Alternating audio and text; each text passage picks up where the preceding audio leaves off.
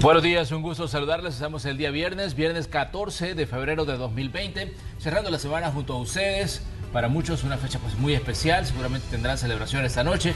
Vamos a tener datos de cómo estará el tráfico esta mañana con los equipos de Noticiero Hechos. Además, otras informaciones que están en las agendas en estos días. Buenos días, compañeros. Buenos días, Manuel, Lorena, Carlos y a los amigos televidentes que siempre están pendientes de la señal de Canal 12. Tenemos mucha información que compartir con ustedes y ya Manuel lo decía, un día de celebración, así que presta atención a esos puntos, sobre todo en los centros comerciales, porque van a estar bastante congestionados los contornos, así que hay que tomar en cuenta esta información y por supuesto nosotros le vamos a estar llevando más noticias con todos los equipos de Noticiero Hechos.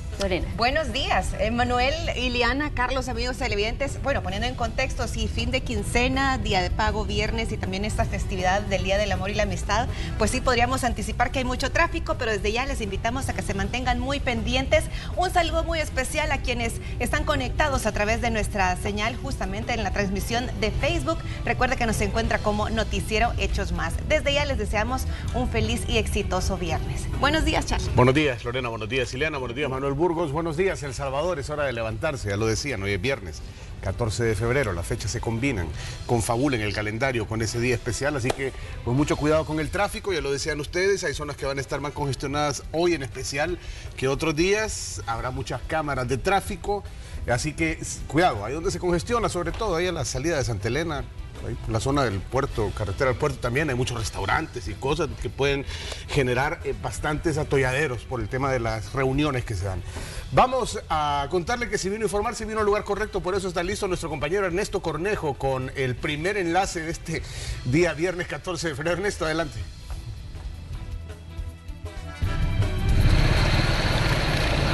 Así es, compañeros en los estudios. Buenos días, amigos televidentes. Gracias por finalizar semana con Noticiero Hechos a esta hora de la mañana. Nos hemos trasladado hasta el Boulevard del Ejército, esto a la altura del paso desnivel que conecta con Molsa. Como podemos ver, aparentemente un carro se accidentó a esta hora de la mañana con este camión, situación que ha provocado que se genere tráfico en esta importante arteria que conecta con el centro de San Salvador. A partir de ese tramo ya posteriormente la circulación se encuentra despejado si usted va a transitar hacia el Boulevard Venezuela. Como vemos, a esta hora ya acá pues fluido. Así que la recomendación es tomar precaución, salir un poco más temprano porque esta situación tiende a complicarse ya en los próximos minutos. Bien, ahí tenemos las primeras imágenes de cómo amanecemos en esta mañana. Tráfico fluido en diversos puntos. No hay mayores complicaciones para, para conducir. Así es que, bueno, le pedimos a usted que se mantenga pendiente de Noticiero Hechos porque vamos a tener más sobre el tráfico en el transcurso de la emisión. Así es. Pero de inmediato vamos a enlazarnos con Gerardo Borja, quien ya está listo con su reporte. Buenos días, Gerardo.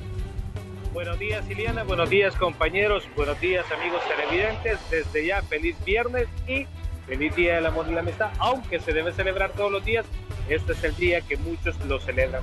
Bueno, vamos a entrar en materia del tráfico. Me encuentro específicamente en la calle Al Vulcán y Boulevard Constitución, esto en San Ramón, Mexicano. Las imágenes de pantalla, los vehículos detenidos que usted ve, son quienes vienen del sector de la 75, la Miralvalle, la, la colonia Escalón y se van a incorporar en este momento en el Boulevard Constitución en dirección de los redondeles integración o buscarán seguir su marcha hasta llegar a la colonia Sacamil. Así que ya pueden ver cómo está esta fila bastante larguita.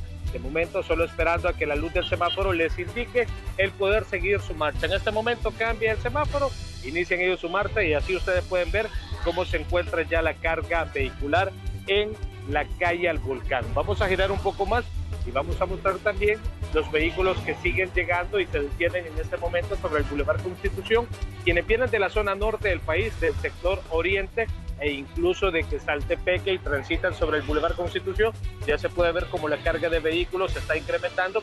Estamos informando a esta hora para que usted lo tome en cuenta, cómo se comienza a concentrar ya el tráfico en esta zona de mexicanos. Giramos un poco más y vemos quienes vienen del sector de Saltepeque Sacamil y se están incorporando en este momento en dirección de la calle del Volcán o van buscando el Boulevard Constitución. Así el panorama, compañeros, amigos televidentes, tráfico a esta hora. Sí, bueno, ahí podemos observar esta fila de vehículos, Gerardo, que normalmente viene de la zona de la colonia La Gloria. También hay personas que ingresan desde Tonacatepeque o Apopa a través de este sitio y también general, de manera general de la zona norte del país para quienes buscan entrar a San Salvador. Así que por eso no es de extrañar que podemos registrar este tráfico a esta hora. Definitivamente, este es el tráfico regular, pero como día viernes y es fecha de pago, hay que tomar en cuenta que ya este día, en horas de la tarde, esto podría estar bastante complicado, no solo aquí, sino que en otros puntos del Gran San Salvador o de otros municipios.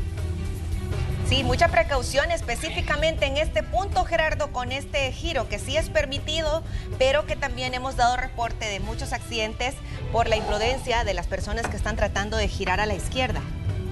Definitivamente, con toda la precaución necesaria del mundo, como tú lo mencionas, sí es permitido, pero el problema es cuando vienen los conductores circulando sobre el Boulevard Constitución, quienes vienen del sector de la Juan Pablo II, del Salvador del Mundo, y transitan a una velocidad un poco elevada, es ahí donde ocurren estos percances viales, precisamente en esta intersección, como tú lo mencionabas. Muy bien, Gerardo, y tenemos el primer reporte también desde la zona del Boulevard Constitución. Ya veíamos otros puntos. Esa es la zona del Constitución, una vía muy transitada porque se ha convertido en punto de conexión entre la, zona oriente y parte de la zona norte también con la, ciudad de San Salvador. Gente que viene de Apopa, gente que viene de la zona de Aguilares o personas que vienen también de la zona de San Martín, Soyapango y Lopango, pues utilizan el Boulevard Constitución como una ruta alterna a la zona de del Boulevard Ejército. Recordemos que en la prolongación del Boulevard Constitución es el punto de conexión. A partir del Rondel de Integración comienza esta prolongación del Boulevard Constitución, de la calle de Oro, como se le conoce, con el Boulevard Constitución. Y bueno, ahí tenemos parte del tráfico en esta mañana. Gracias Gerardo Borja por el reporte. Gracias a ustedes. Gracias Gerardo. Bueno, seguimos enlazándonos con nuestros equipos. Ya saludamos a Ernesto Cornejo, ya saludamos a Gerardo Borja. Hoy le vamos a decir feliz día del amor y la amistad a eh, nuestro estimado Nelson Cornejo, que está listo también, ¿verdad? Sí, Nelson, adelante en sala de redacción. Así es, compañeros, ya estamos listos. Feliz Día del Amor y la Amistad para todos que siempre están pendientes de Noticiero Hechos AM. Tenemos mucha información que compartir con todos ustedes relacionada a la que ha ocurrido en las últimas horas y es que un accidente de tránsito se registró en calle El Pedregal de Antiguo Cuscatlán. ¿Cómo sucedió? Pues bueno, las autoridades han manifestado que el conductor de un vehículo tipo pickup estaba estacionado en la calle cuando una señorita que manejaba ese vehículo tipo sedán iba a excesiva velocidad, perdió el control y lo fue a, impactar frontalmente a este vehículo tipo pickup. Gracias a Dios no hubo personas que, resultó con lesiones, solo daños materiales, pero las autoridades manifestaron que al momento de inspeccionar la escena, este accidente que ocurrió en calle El Pedregal, intentaron hacer la prueba de alcotés a la señorita que iba manejando este vehículo y bueno, se negó por lo que fue remitida a la delegación de San Salvador, específicamente de la División de Tránsito Terrestre, para determinar si ella iba en estado de ebriedad manejando este vehículo y que vemos que gracias a Dios no pasó a más, no resultó nadie con lesiones, pero sí daños considerables, daños materiales podemos decirlo, en este accidente de tránsito que ocurrió en calle El Pedregal de Antiguo Cuscatlán. La joven se dirigía de oriente a poniente y bueno, el conductor del, del, vehículo tipo pickup manifestaba que él solo sintió el impacto y que solo se conducía él específicamente en ese en ese vehículo y que gracias a Dios no pasó a más. Pero imagínense esta situación alarmante porque mientras ellos estaban procesando esta escena de este accidente de tránsito, pues bueno, otros agentes de la División de Tránsito Terrestre estaban realizando un control antidoping, esto específicamente en el Boulevard Los Héroes. El objetivo es precisamente evitar que los accidentes de tránsito continúen por una de las principales causas, manejar en estado de ebriedad. Esto es lo que ha ocurrido en las últimas horas y también tenemos las declaraciones por parte de las autoridades. Escuchemos por parte del Viceministerio de Transporte con la unidad médica técnica antidoping es pues eh, siempre tratar que la ciudadanía mantenga el orden, que no conduzca bajo los efectos del alcohol y que si va a conducir pues tenga un conductor asignado. Nosotros nos mantenemos alrededor de todo el país durante toda la semana con estos controles preventivos y con eso pues tratamos de ayudar a prevenir que sea la principal causa de accidentes y de muerte de los ciudadanos el alcohol. Los fines de semana pues estamos presentes en algunos puntos estratégicos del país y pues los intensificamos en fin de semana, en sábado y domingo y con los operativos que hacemos en zonas estratégicas, en el punto de la ciudad donde hay mayor movimiento de lugares donde sabemos que las personas se conducen bajo el efecto del alcohol. Bueno, también las autoridades manifestaban que van a implementar esto este fin de semana, que busca evitar que más personas irresponsables conduzcan en estado de ebriedad y generen percances viales y que dejen pues saldos fatales, personas lesionadas y hasta fallecidos. Esto es lo que ha ocurrido en las últimas horas. Este percance vial que ocurrió en calle El Pedregal de Antiguo Cuscatlán y que solo hubo daños materiales y que bueno, el control antidope que implementaron las autoridades de la División de Tránsito Terrestre en el Boulevard Los Héroes. Compañeros. Gracias eh, por el reporte, eh, pues ahí están entonces las consecuencias de no tener el cuidado respectivo y no respetar la ley, eh, estimado Nelson Quintero. Muchas gracias, Nelson. Un gusto, compañeros. Vamos a hablar de temas de carácter judicial. Saben ustedes que ya se marcha el juicio contra la banda conocida como las Viudas Negras. ¿Por qué le pusieron este nombre tan característico? Bueno, pues resulta que esta era una banda que se dedicaba a reclutar mujeres, las obligaba a casarse y luego pues le quitaban la vida a los compañeros de vida con el objetivo de quedarse con los seguros. Esto es parte del reporte que tenemos a continuación. Agrupaciones ilícitas, trata de personas, falsedad ideológica, suplantación del Estado familiar, entre otros, son las acusaciones contra 10 personas involucradas en el caso Viudas Negras, quienes enfrentan la vista pública en el juzgado quinto de sentencia. Los delitos son en perjuicio de dos mujeres a quienes obligaron a casarse y a reclamar los seguros de vida de su pareja. Entre los imputados se encuentran abogados. La imputada Esmeralda Arabel Flores, para ser específica, ofreciéndoles trabajo en su hogar, ¿verdad? Diciéndole que para hacer oficios domésticos, una vez captadas las víctimas, eh, no las dejaban salir, habían otros miembros de esa estructura que le brindaban vigilancia para que no se escaparan. Y de esa manera, pero la finalidad principal era, aparte de la explotación laboral, era carzarlas con otras personas para luego cobrar el seguro cuando media vez estuvieran casadas. ¿De cuánto rondaban los seguros? 30 mil dólares cada uno.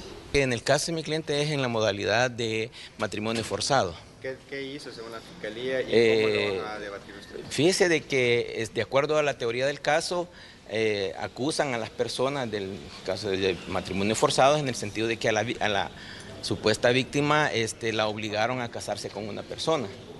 Entonces, y que después eh, se aprovecharon económicamente de- del caso de el Eso caso es todo. de su defendido, ¿qué es lo que él habría hecho? Mm, Según nada.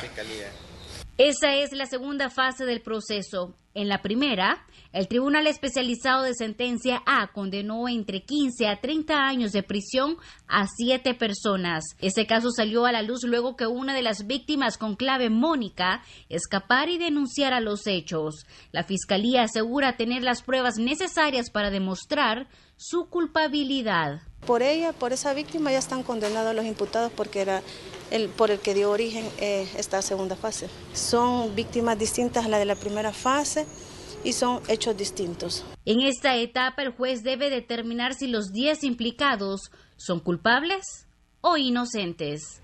Con imágenes e informe de Marcela Rivera. Y continuamos hablando sobre temas judiciales porque se instaló la audiencia preliminar en contra de ocho empleados de la Policía Nacional Civil, quienes son acusados por delitos de peculado, incumplimiento de deberes y falsedad por un monto de 200 mil dólares. De acuerdo a las investigaciones, en una auditoría realizada en 2014 se descubrió que habían repuestos y lubricantes inventariados, pero no fueron localizados.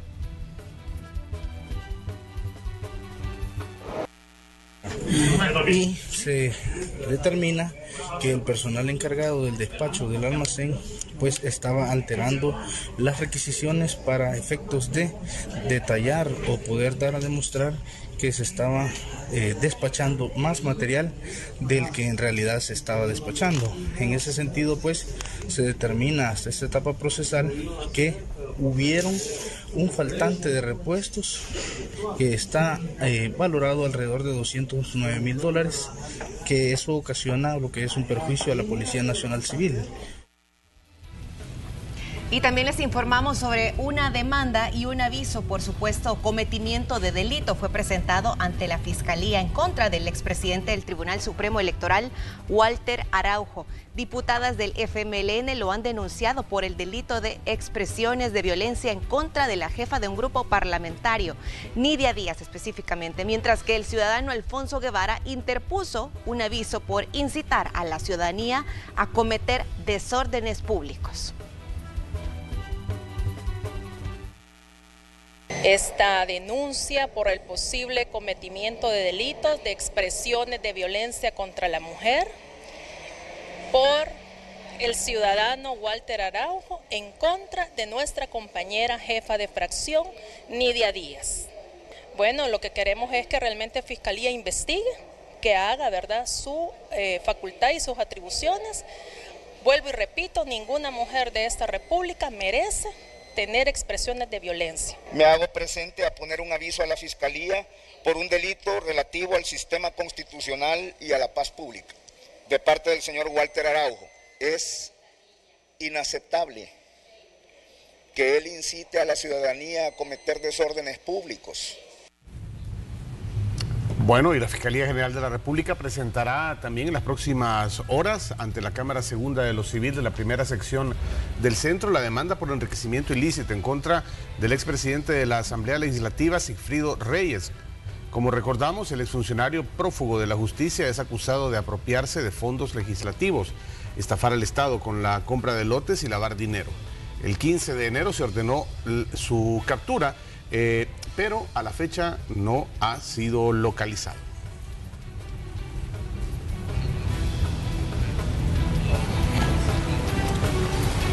Bien, en más hechos le informamos que falta pues una semana para que los diputados puedan aprobar una ley de reconciliación. La Comisión Política espera que el 26 de febrero, a más tardar, se pueda tener avalada la iniciativa. Arena propone que se realice una sesión extraordinaria. Todas las fracciones no están a favor de una prórroga de la sala de lo constitucional. Tendría que ser una extraordinaria. No, o sea, tiene que eh, es, viernes. Es algo, es algo que nos, nos lleva de sentimiento a todo el pueblo salvadoreño. Es una ley que, viene y debe unificar al país. A raíz de los dos, de los dos proyectos, sacar un tercer proyecto que puede ser en el que nos convergemos todos y nos que sentamos bien todo el pueblo salvadoreño. En el tema de las matanzas de, de, personas, se ha quedado corto. Habría que ver la matanza de más de mil excombatientes del FMLN, el caso de los 100 niños de Arcatao que se trajo para la ofensiva hasta el tope, que solo regresaron cinco. Es decir, hay tantos casos que ver como los crímenes, 100 crímenes de lesa humanidad que no fueron incorporados, documentación que presentamos. Aquí el principio fundamental es que todos los criminales de guerra, absolutamente todos, tanto de la izquierda, de la derecha como del ejército, deben ir a manos de la justicia. Y vamos a cambiar de tema y pasamos a información eh, que tiene que ver con la economía, porque en aumento continúa la recepción de remesas familiares. Por, por, tal razón, las organizaciones insisten en impulsar políticas para orientar parte de los recursos a programas de desarrollo productivo. Tenemos el informe. El envío de remesas familiares continúa siendo un pilar fundamental de la economía salvadoreña. El 95% las mandan desde Estados Unidos. Solo en el mes de enero fueron 424.5 millones de dólares, 6% más en comparación a enero del año pasado. La economía estadounidense ha crecido, al igual que el empleo, y eso estimula, entre otros factores, el aumento de remesas. Está asociado directamente a la evolución de Estados Unidos. Eso permitió que los compatriotas experimentaran este mayor envío de remesas y ha favorecido a la familia salvadoreña. El año 2019 se recibieron 5.650.2 millones de dólares, una cifra nada despreciable para el motor de la economía salvadoreña. Es una variable clave, estabilizadora para la economía, fundamental para el manejo de la dolarización de la economía del país y obviamente también es un factor clave en las capacidades de demanda de las familias en el país. 25 municipios de El Salvador captaron el 55% de las remesas durante enero de este año. Donde más se recibieron son en las cabeceras departamentales de San Salvador, San Miguel y Santa Ana. Pero la percepción del director del Instituto Salvadoreño del Migrante es que la relación de más remesas, menos pobreza es relativa. Sin embargo, en la zona oriental, en Morazán y otros rincones rurales del oriente del país, observamos la pobreza más grande de, que se tiene en El Salvador. Y entonces, ¿cómo, ¿cómo nos explicamos? La zona donde recibe más remesas es la zona donde hay más pobreza. De ahí la necesidad de orientar políticas para el uso productivo de las remesas. Necesitamos trabajar mejor eh, el tema de la inserción productiva y financiera de esta población enviar a las remesas para cubrir necesidades básicas, sino que para tener una inversión, un negocio pequeño y aquí pudiéramos otorgarle las facilidades para que ese negocio pudiera prosperar, podríamos ver un mayor beneficio para el país, no en este momento, sino que en el mediano plazo. Eso también podría favorecer también lo que es la evolución, el ingreso de las familias salvadoreñas. Que permita que las familias puedan no simplemente ser receptoras y vivir de eso, sino que utilizar esos fondos para inversiones o emprendimientos que realmente le permitan estabilizar su situación económica a futuro. La inestabilidad migratoria en Estados Unidos, el incremento de deportados y retornados, los programas de trabajo temporal y los niveles de confianza para la inversión nacional y extranjera también son factores a considerar en la estabilidad para el flujo de remesas. Con imágenes de Ricardo Tobar, un reporte de Luis Alberto López. Y bueno, siempre poniendo en perspectiva el tema del aumento del envío de remesas hacia nuestro país, les comentamos que se tiene ya el registro de enero de 2019 a enero de 2020. Justamente en 2019 se registraba 400.6 millones de dólares y hasta la fecha, en 2020, ahora se tiene un registro de 424.5 millones de dólares, es decir, 23.9 millones de dólares de aumento. Esto significa o se traduce a un 6% con relación al año pasado. Y bueno, si también observamos lo que sucede a nivel de los departamentos, los departamentos con los incrementos de las remesas son el departamento en el occidente de nuestro país de Sonsonate con un 9.6%, Cuscatlán 9.4%, San Salvador 8.7%, en cuarto lugar está el departamento de La Paz y también el departamento de Chalatenango con un 7%.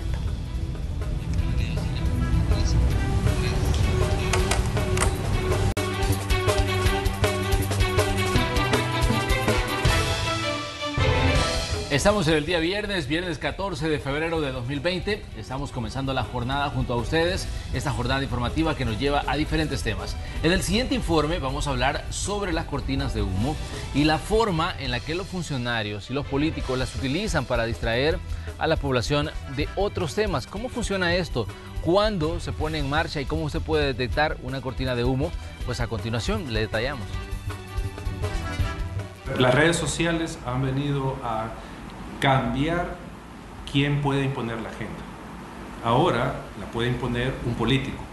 Él puede tener la decisión y la facultad de dirigir la discusión pública hacia los temas que a él le interesan discutir. La estrategia no es nueva, pero actualmente es catalogada como un método de supervivencia, un sistema de defensa basado en el engaño que se utiliza en el ámbito político para desviar la atención de la población sobre un tema que al discutirlo, el funcionario podría salir afectado. Hablamos de las cortinas de humo que según Eduardo Escobar, director ejecutivo de Acción Ciudadana, está vinculado a la capacidad de distracción.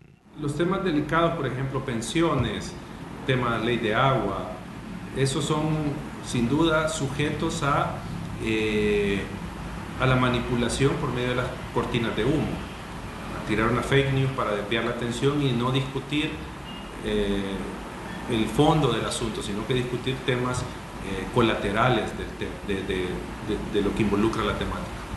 Esta práctica ha evolucionado con el paso de los años. Los políticos, a su manera, han desviado la atención de los salvadoreños de los temas fundamentales, sostiene Eduardo Escobar. Esto cohibe a las personas de su derecho de acceso a la información, evitando el debate de ideas, dejando la toma de decisiones a un nivel básico y alternativo. Cortinas de humo, noticias falsas generan tendencia a través de las redes sociales, desinformando y tergiversando la realidad, pero las nuevas tecnologías de la información pueden incrementar el conocimiento de la ciudadanía. Todo depende del interés a investigar la verdad y los filtros de consumo. Al final le puede orientar para no caer en las discusiones estériles o en las discusiones provocadas por cortinas de humo. Porque muchas veces el ciudadano no tiene el cuidado de filtrar lo que consume y da por hecho, da por verdadero cualquier noticia de cualquier espacio, cualquier persona, cualquier medio que se autoatribuye ser un canal de divulgación calificado de información. Las cortinas de humo podrían considerarse como un método de represión a la libertad de expresión, una nueva forma de censurar a las personas, no prohibir sus opiniones, sino oscurecer el panorama noticioso. Con imágenes e informe de Enrique López, Noticiero Hechos. Y precisamente sobre este tema le preguntamos a la población sobre el impacto que este tipo de prácticas eh, tiene en el desarrollo del país y esto fue lo que nos dijeron. Bueno, yo creo que le afecta en el sentido tanto en el económico y en, todo, en todos los campos, pues, educación, en salud, porque al, hacer esas cortinas, cuando, cuando un, un dijéramos, un pueblo está en crisis, porque cuando hay una, esa es una crisis, porque se llama crisis, eh, hay en, todo, en, todo, en todos los ámbitos, entonces por eso es que afecta el desarrollo del país. Esas cortinas de humo le afectan al país enormemente porque confunden a la gente y aparte de eso, pues la realidad de las cosas, mucha gente ya sabe, ya entendió que el pueblo ya no lo, ya, ya no lo engaña pues a través de las de, estas cosas, de, los teléfonos celulares, ya toda la verdad se sabe. La calle que den de cortinas de humo, que eso ya no existe. Y bueno, vamos a mencionarle otras noticias. Ahora les comentamos que el gobierno busca nuevos acercamientos con el órgano legislativo, esto para la aprobación de la fase 3 del Plan Control Territorial. Justamente vamos a conocer cómo el secretario jurídico de la presidencia habló al respecto. Estamos llamando al diálogo nuevamente Buscar la mejor manera para explicar el destino de los fondos para la fase 3 del Plan Control Territorial sigue siendo uno de los puntos de trabajo del Ejecutivo. Es por eso que se pretende un nuevo acercamiento con los miembros del Partido Arena y FMLN para la aprobación de estos fondos. Yo hice una invitación a que hagamos país, que pasemos la página, que continuemos desarrollando bajo el clima, eh, bajo el clima económico o ambiente económico que se está manejando, pues que se, que se continúe y iniciemos pláticas. Hasta este momento no ha habido pláticas, queremos que a partir de mañana pueden iniciar ya las pláticas con, con los partidos que están en desacuerdo. También el secretario jurídico de la presidencia se refirió a las recientes reuniones que han sostenido con miembros de las calificadoras de riesgo, asegurando que les han expuesto que en el país hay confianza y un buen clima de inversión factores determinantes que han permitido que en los primeros ocho meses de la gestión del presidente Nayib Bukele mejore la economía nacional. Pero eh, al contrario, han mencionado que el plan control territorial ha, ha, dado muy buena visión a nivel internacional de que el país está mejorando, hay un mejor clima de seguridad y piensan que económicamente pues hay un clima de inversión bueno. No dejó pasar por alto las medidas cautelares que dieron a conocer los magistrados de la Sala de lo Constitucional sobre los hechos registrados el pasado fin de semana, asegurando que acatarán la decisión. Este es un informe para Noticiero Hechos de Ernesto Cornejo. Bien, y los salvadoreños por su parte esperan que los diputados puedan aprobar lo más pronto posible el préstamo para la fase 3 del plan control territorial. Porque solo no puede, tiene que ayudarlo. Que ponerse de acuerdo para aprobar lo del presupuesto. Hubo una convivencia que se diga entre diputados y él, pero él tiene la razón en haber hecho eso, porque los diputados se rehusaron a, hacer eso y siguen rehusándose a hacer eso. ¿Sabe quién también ha opinado sobre todos estos temas? El alcalde de San Salvador, Ernesto Mason Ante pues, este tema, él considera que establecer una mesa de diálogo para discutir la aprobación de los 109 millones de dólares para financiar el plan control territorial es lo que se debe hacer pues, a la brevedad posible. Los hechos registrados el pasado fin de semana continúan generando reacciones. El alcalde de San Salvador, Ernesto Mason, hace un llamado al diálogo y respeto al Estado de Derecho. El edil sostiene que temas como la seguridad deberían ser el centro de agenda entre ambos poderes del Estado. Insta a buscar acuerdos que permitan mantener los logros alcanzados.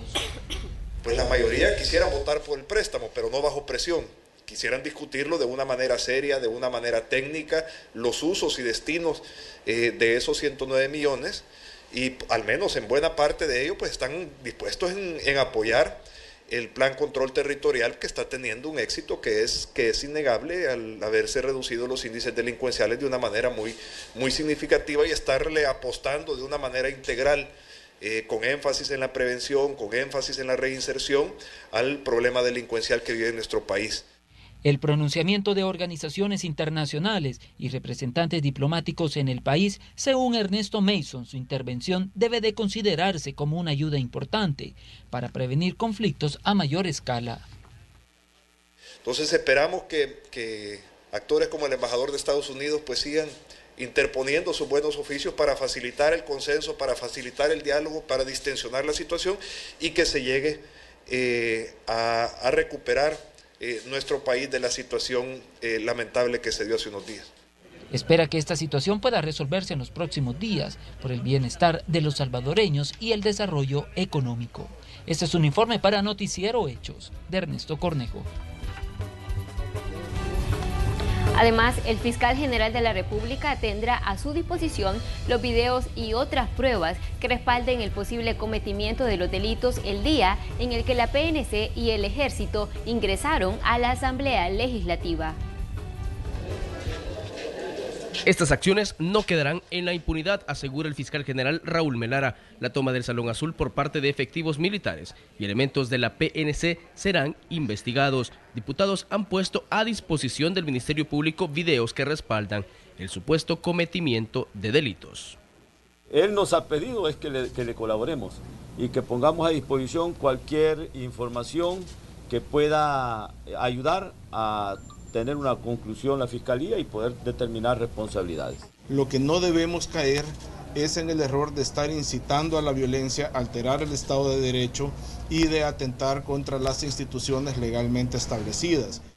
Estos hechos no solo podrían constituir un delito según algunos congresistas, el valor de los bonos cayó a raíz de la tensión entre el jefe de Estado y los diputados. Esto restaría estabilidad al clima de inversión afectando a la economía de la población. Podría ser la caída de los títulos soberanos salvadoreños en los mercados. Y miren que ya empezó a ocurrir. Y eso es muy grave porque quien paga los platos rotos es el pueblo y prácticamente más directamente la gente más vulnerable de nuestro país. Eso no es justo. Los partidos Arena y FMLN insisten que se deben buscar acciones de prevención para que hechos como los del fin de semana no se repitan, por ejemplo, interpelar a los titulares de seguridad y defensa nacional. Pero hay diputados, por ejemplo, el diputado, la casa del diputado Chato Vargas llegaron, llegaron, llegó una patrulla a decirle que, que llevaban una, que le tenían una orden, pero que era una orden verbal. Entonces, eh, él les dijo, miren señores, aquí por favor, si es una orden de la fiscalía, de algún juez, con gusto. Dado de que la Fuerza Armada, como cualquier funcionario, civil o militar, dice el 235, se debe ante todo y sobre todo a la Constitución de la República. También presentaremos otra iniciativa de interpelación al ministro de Justicia y Seguridad Pública relacionados al acoso, persecución y su rol y papel que tuvo en el golpe que se dio aquí a esta asamblea. Mientras todo esto sucede, el tema que desencadenó las discusiones continúa en espera. El cabildeo por los 109 millones de dólares se retomará la próxima semana en el seno de la Comisión de Hacienda y Especial del Presupuesto. Con imágenes de Roberto Martínez, Inmar Batres, Noticiero Hechos Son las 6 de la mañana con 13 minutos. Vamos a hacer una pequeña pausa en este tipo de informaciones y nos vamos a enlazar con nuestro compañero Ernesto Cornejo. Él se ha trasladado hasta la zona del mercado San Miguelito, muy pendiente también de cómo se activa las personas, la actividad comercial en este día específico, donde muchos aprovechan para poder obsequiar un detalle a través de un arreglo floral. Adelante Ernesto, te escuchamos.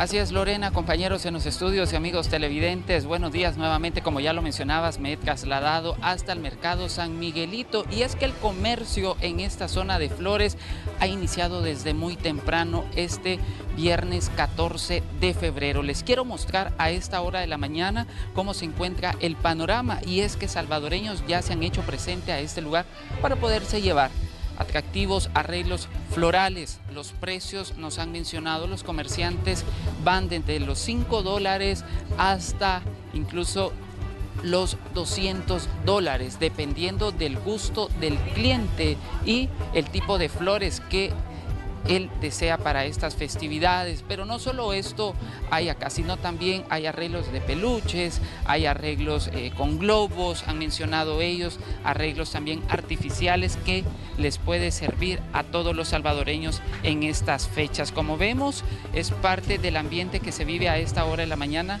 Está prácticamente, ellos han mencionado que todo el producto que ha llegado hasta este lugar, este 14 de febrero, es un producto bastante recomendable, decían ellos, porque las flores tienden a durar por mucho tiempo. Como vemos, es parte de lo que se vive acá este 14 de febrero en las inmediaciones de tanto adentro del mercado San Miguelito como también en los contornos de este lugar, porque también el comercio ha salido a las diferentes calles de acá de este importante mercado en San Salvador. Como vemos, es la situación que se vive. Vamos a tratar de platicar con algunos de ellos. ¿Qué tal? ¿Cómo estamos? Estamos en vivo para Noticiero Hechos. Sin duda alguna, este día es bastante favorable para ustedes como comerciantes de flores, caballeros. Sí, es un día bien importante, por eso eh, todos los, vendedores de, de esta zona ya están activos, ¿verdad? Bueno, y muchos que han pasado toda la noche trabajando para tener algo bonito para los clientes. Los precios para que los amigos televidentes conozcan desde cuántos van. Los precios van desde 5 o 6 dólares para arriba, según la, calidad del arreglo y, del producto también. ¿Qué más se llevan los salvadoreños en esta fiesta? Eh, los detalles, los más cómodos, por supuesto. ¿El tipo de flores? Eh, rosas. ¿Cuáles? ¿Blancas? ¿Rosadas? Sí, rojas, sí. son las que predominan. Invitación entonces para que se puedan acercar a este lugar, puedan visitar. Sí, hacemos una atenta invitación a los, a los clientes de, flores, ¿verdad? Para que se presenten y hagan un buen regalo a sus parejas, ¿Hasta qué horas van? Amistades. Hasta las 5 de la tarde. Sí. Ok, pero mañana continúa. Sí, mañana continúa la venta. El día de mañana y el domingo también. Gracias. Son parte de las declaraciones de algunos de los comerciantes. Como vemos, ya se están preparando y como él ya lo decía, la invitación para que se acerque. Los precios van desde los 5 dólares en adelante, así que usted puede acercarse a este lugar. Ya escuchábamos, hasta las 5 de la tarde ellos van a estar brindándoles el servicio a cada uno de ustedes. Ya los salvadoreños, como se los reiteraba, ya se han hecho presente a este lugar. Bueno, Ernesto, vamos a mantenernos pendientes. Sin duda, a lo largo de la mañana y el transcurso también de la tarde, muchas personas van a acercarse al mercado San Miguelito para adquirir estos arreglos. Y ya lo decía, hay de todos precios, así que no hay excusa para no regalarle algo a esa persona especial. Eh, vemos que también hay diferentes tipos de arreglos para todos los gustos, Ernesto. Así es, Iliana, hay diferentes tipos de arreglos como vemos y él ya lo mencionaba, le vamos a pedir a nuestro compañero Jonathan que nos pueda enfocar estos, son parte de los que ellos están ofreciendo en este lugar, principalmente las flores rojas, decía ella, las rosas rojas son las que se llevan este día los salvadoreños, así que la invitación es para que se acerque, pueda regalarle un detalle especial a su pareja, a su esposa, a su esposo, a su grupo de amigos, así que acá están y aquí está disponible todos los artículos, como ya se los decía, también hay peluches, hay chocolates que también este día pues, se regala bastante y pues es parte de la situación que nosotros tenemos y le queremos informar a esta hora de la mañana desde acá, desde el mercado San Miguelito.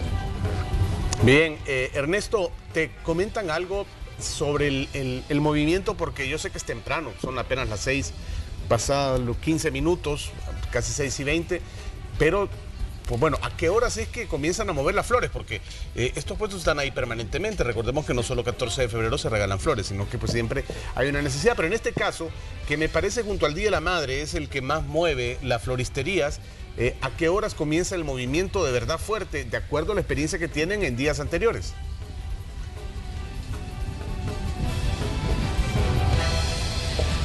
Así es, Carlos, eh, como ya lo mencionabas, es parte de, esta situación eh, de que los comerciantes están teniendo a esta hora de la mañana.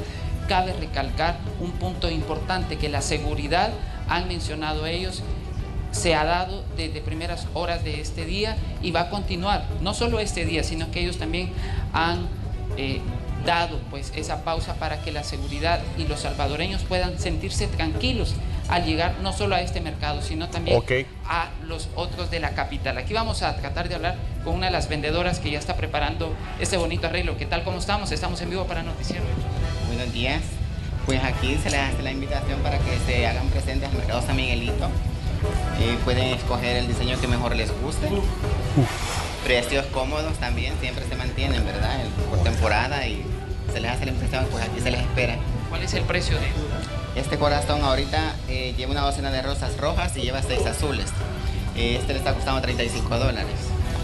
Hay para toda la variedad para los Sí, le tenemos casitas, eh, le tenemos así con docena, mire, le tenemos en variedad de colores, le tenemos este, en gradas, le tenemos medias lunas. Ok, gracias. Esta es parte de la información que les tenemos hasta esta hora de la mañana. Vamos a estar pendientes del desarrollo y más adelante también nos vamos a enlazar para que usted ya vea cómo se encuentra el movimiento este 14 de febrero en este lugar. Muchas gracias, eh, gracias Ernesto por el reporte, nos enlazamos más adelante. Buenos días. Bien, eso es lo que está ocurriendo en el mercado San Miguelito, un mercado pues, donde la mayoría de gente llega a buscar flores, ya sea el 14 de febrero, el Día de las Madres o el Día de los Difuntos, allá por el mes de, noviembre. Vamos ahora con un reporte de Gerardo Borja. Gerardo, te saludamos nuevamente. Gracias Manuel, amigos televidentes. Información del tráfico. A esta hora me encuentro específicamente en la intersección de la 39 Avenida Norte con la calle San Antonio Abad. Para mayor ubicación, Estoy a un costado del redondel Torogos. Vamos a iniciar hablando de los conductores que a esta hora vienen de la Tacamil, hay un que se están incorporando en dirección de la calle Gabriela Mistral, lo van a buscar hacia las inmediaciones de la Universidad Nacional de El Salvador. Y pueden observar también los vehículos que vienen del sector de la Universidad Nacional de El Salvador incorporándose a este punto. Aquí podemos ver cómo ya las unidades del transporte ya van repletas de personas que se dirigen a sus diferentes lugares de destino. Podemos observar de que la larga fila se mantiene un poco tranquila, o sea, para avanzar a la incorporación en este punto muy importante. Vamos girando un poco más y aquí vemos cómo se van incorporando quienes van buscando hacia la calle Gabriela Mistral o también el sector que viene de la calle San Antonio Abad, quienes vienen del sector del Boulevard Constitución, que son los vehículos que les estoy mostrando en este momento, ya podemos observar también cómo se va generando la carga de vehículos. Eso sí, de momento no genera ninguna complicación. La fila es bastante corta. Vamos a caminar un poco para que ustedes puedan observar y tengan un ángulo mejor cómo se encuentra a esta hora este punto del el Gran San Salvador. Así me informe, compañeros, amigos televidentes, para que lo puedan tomar en cuenta quienes circulan en las inmediaciones de la calle San Antonio Abad en dirección de la Universidad Nacional de El Salvador o se dirigen a las inmediaciones del redondel del Monumento de la Constitución. Así es, Gerardo, 6 de la mañana con 21 minutos y ya vemos que hay un movimiento importante de vehículos. Es viernes, seguramente pues habrá congestionamientos en el transcurso de la mañana y en el transcurso de la tarde porque siempre que hay, digamos, actividades, actividades como la celebración de este día, pues el movimiento vehicular crece y también el movimiento comercial, Gerardo.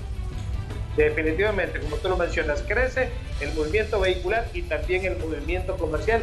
Y otro de los puntos que sabemos que también pueden ofrecer diferentes arreglos este día es el sector del Boulevard de los Héroes con la conexión de la calle Gabriela Mistral. Muy bien, Gerardo Borja, ahí tenemos la señal en directo desde la zona del Redondel Torogós para usted que se moviliza por ese sector, la colonia San Luis y sectores como la Avenida Bernal, pues ahí tiene el panorama que se puede encontrar esta mañana. Gracias, Gerardo. Gracias a ustedes también. Bueno, queremos hacerle una importante invitación y es que el mundo de las comunicaciones está en constante evolución. Por eso es imprescindible actualizar los conocimientos. La Escuela de Comunicaciones RSM está por iniciar los posgrados en producción multimedia, periodismo multimedia y marketing digital. Más información al 2560-1211 o, o también puede ser a www.escuela.rsm.com. ¿Sabes qué hay detrás de la producción en radio y televisión? Descubre los conceptos, estructura y la producción en televisión y radio. Conoce la producción audiovisual para medios digitales en nuestro posgrado en producción multimedia. Clases prácticas. La experiencia de nuestros tutores te guiarán paso a paso. Comienza una nueva aventura. Inscríbete ya. Más información al 2560-1211 o visita www.escuelarsm.com. Bueno, ahora queremos presentarle la historia de Ana, una mujer que regresó a las aulas por amor a su hijo. El periodista Julio Guevara la conoció en la zona oriental de nuestro país y nos cuenta todo en la siguiente nota.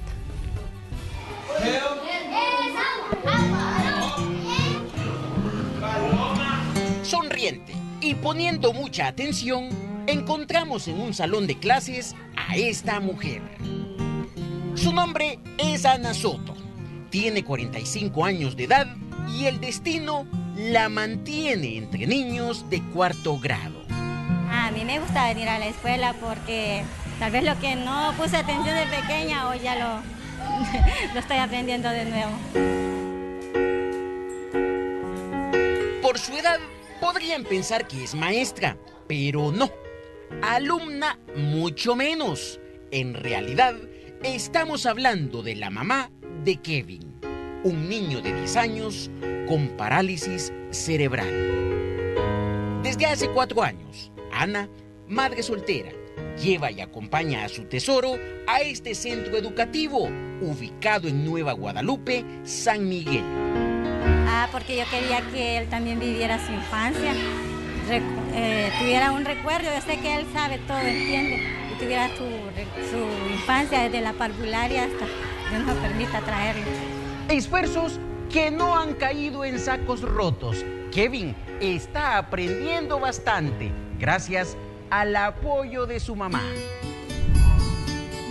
Apoyo más que evidente. En las aulas, ella se encarga de guiar las manos de su hijo para que escriba, coloree.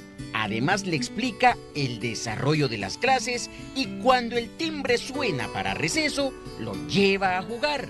Kevin sonríe como todo niño. Su mamá logra que sea feliz. A veces ni sé pues que está ahí, solo sé que está Kevin y ella apoyándolo, ella le escribe, ella es como una alumna más para el grupo. Y la verdad es muy dedicada, yo la admiro mucho por la capacidad y la dedicación que tiene hacia Kevin. Ana cuenta con tristeza que muchas personas al inicio le decían que por gusto llevaría a su hijo a la escuela.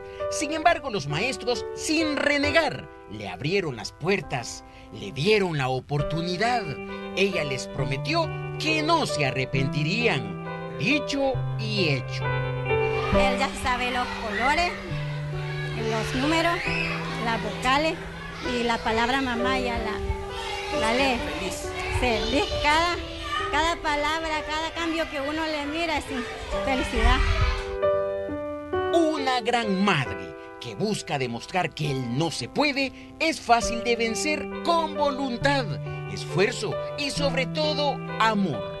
Sentimiento que la une a su hijo, a quien promete apoyar en todo momento y ante cualquier adversidad, hasta que el Todopoderoso lo permita. Con imágenes de Alfredo López, Julio Guevara, Noticiero Hechos. Bien, una bonita historia contada muy al estilo de Julio Guevara, una mujer que se sacrifica por su hijo, porque ella no quiere que pues, su historia sea diferente a la del resto de niños. Claro, y bueno, eh, es una muestra, es un ejemplo también del amor de una madre, de lo que es capaz de hacer una madre con tal de ver feliz a su hijo y como le estábamos escuchando, de que él no se pierda esa oportunidad, esa alegría también de ir a la escuela, esas experiencias, pues ella está haciendo todo lo posible para que él pueda también eh, vivir esta etapa bonita de la vida. Así que bueno, agradecemos a Julio por mostrarnos esta historia y sobre todo pues la reflexión que nos deja a cada uno de nosotros también. Así es. Bueno, una bonita historia más que nos presenta Julio Guevara y también eh, hay que valorar el esfuerzo que está haciendo la madre y también el niño. Ella ya lo decía, quiere que su hijo sea exitoso y pues ella va a decidir apoyarlo en cada momento de esta etapa. Hay muchas veces que las madres abandonan a sus hijos, pero vemos que esta madre ha decidido luchar cada día junto a él. Así que gracias a Julio Guevara por presentarnos esta historia. Pero es hora de hacer una pausa, Manuel. Así es, vamos a la pausa y regresamos con la conversación de esta mañana aquí en Hechos AM. Hoy el ministro de Obras Públicas aquí en el edificio Bicentenario junto a nosotros. Ya regresamos.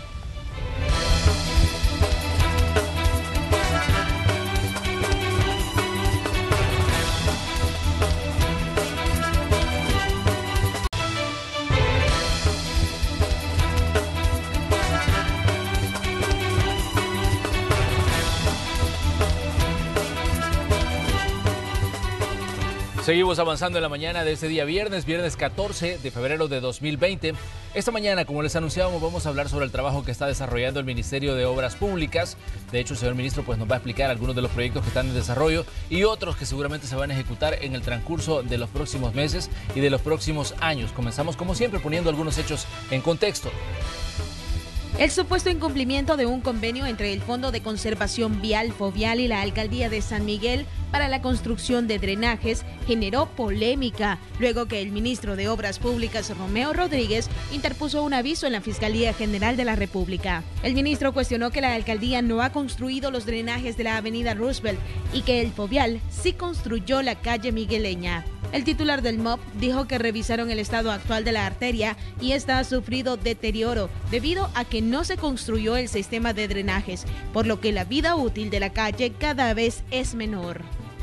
Horas más tarde, la alcaldía de San Miguel respondió al aviso interpuesto ante la fiscalía y alegó que el titular del MOP desconoce el convenio, el cual además fue presentado con dos graves equivocaciones.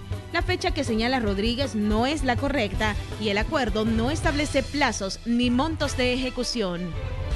Esta mañana, en la entrevista de Hechos AM, Manuel Burgos conversará con el ministro de Obras Públicas, Romeo Rodríguez, para conocer más sobre esta situación.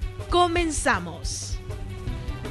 Romeo Rodríguez, ministro de Obras Públicas, esta mañana aquí en Hechos AM, en la conversación que sostenemos todos los días. Señor ministro, un gusto saludarlo y un gusto pues que nos pueda acompañar en esta mañana de viernes. No, buenos días, Manuel. Muchas gracias por la invitación y un saludo a todas las personas que nos están viendo y que nos están escuchando, ya sea a través de televisión o de las redes sociales. Bien, ministro, pues si quiere comenzamos con esto de qué ha ocurrido allá con San Miguel. Usted eh, asistía pues a la Fiscalía General de la República a hablar de que no se estaba cumpliendo pues un convenio que se había suscrito entre Fovial y la, y la alcaldía. Lo que sí es cierto es que mucha gente en la zona de San Miguel, cuando estaba el año pasado, cuando estaba lloviendo, decían, miren, la Roosevelt se está inundando y esto no, no, no se ha convertido en un problema grave para todos los automovilistas porque pues alguien no ha hecho lo que tendría que haber hecho en esta, en esta, en esta vía que es la principal en el municipio de San Miguel. Sí, bueno, eh, te, explico un poco en contexto el tema del convenio. El convenio se suscribió entre Fovial y entre la alcaldía de San Miguel eh, para eh, dos cosas. Uno, que era rehabilitar la avenida Roosevelt, que es la calle principal en San Miguel y que es municipal, y lo otro es eh, que había que hacer toda una obra de drenaje, que es una obra que anda cerca de 1.2 millones de dólares para poderlo realizar.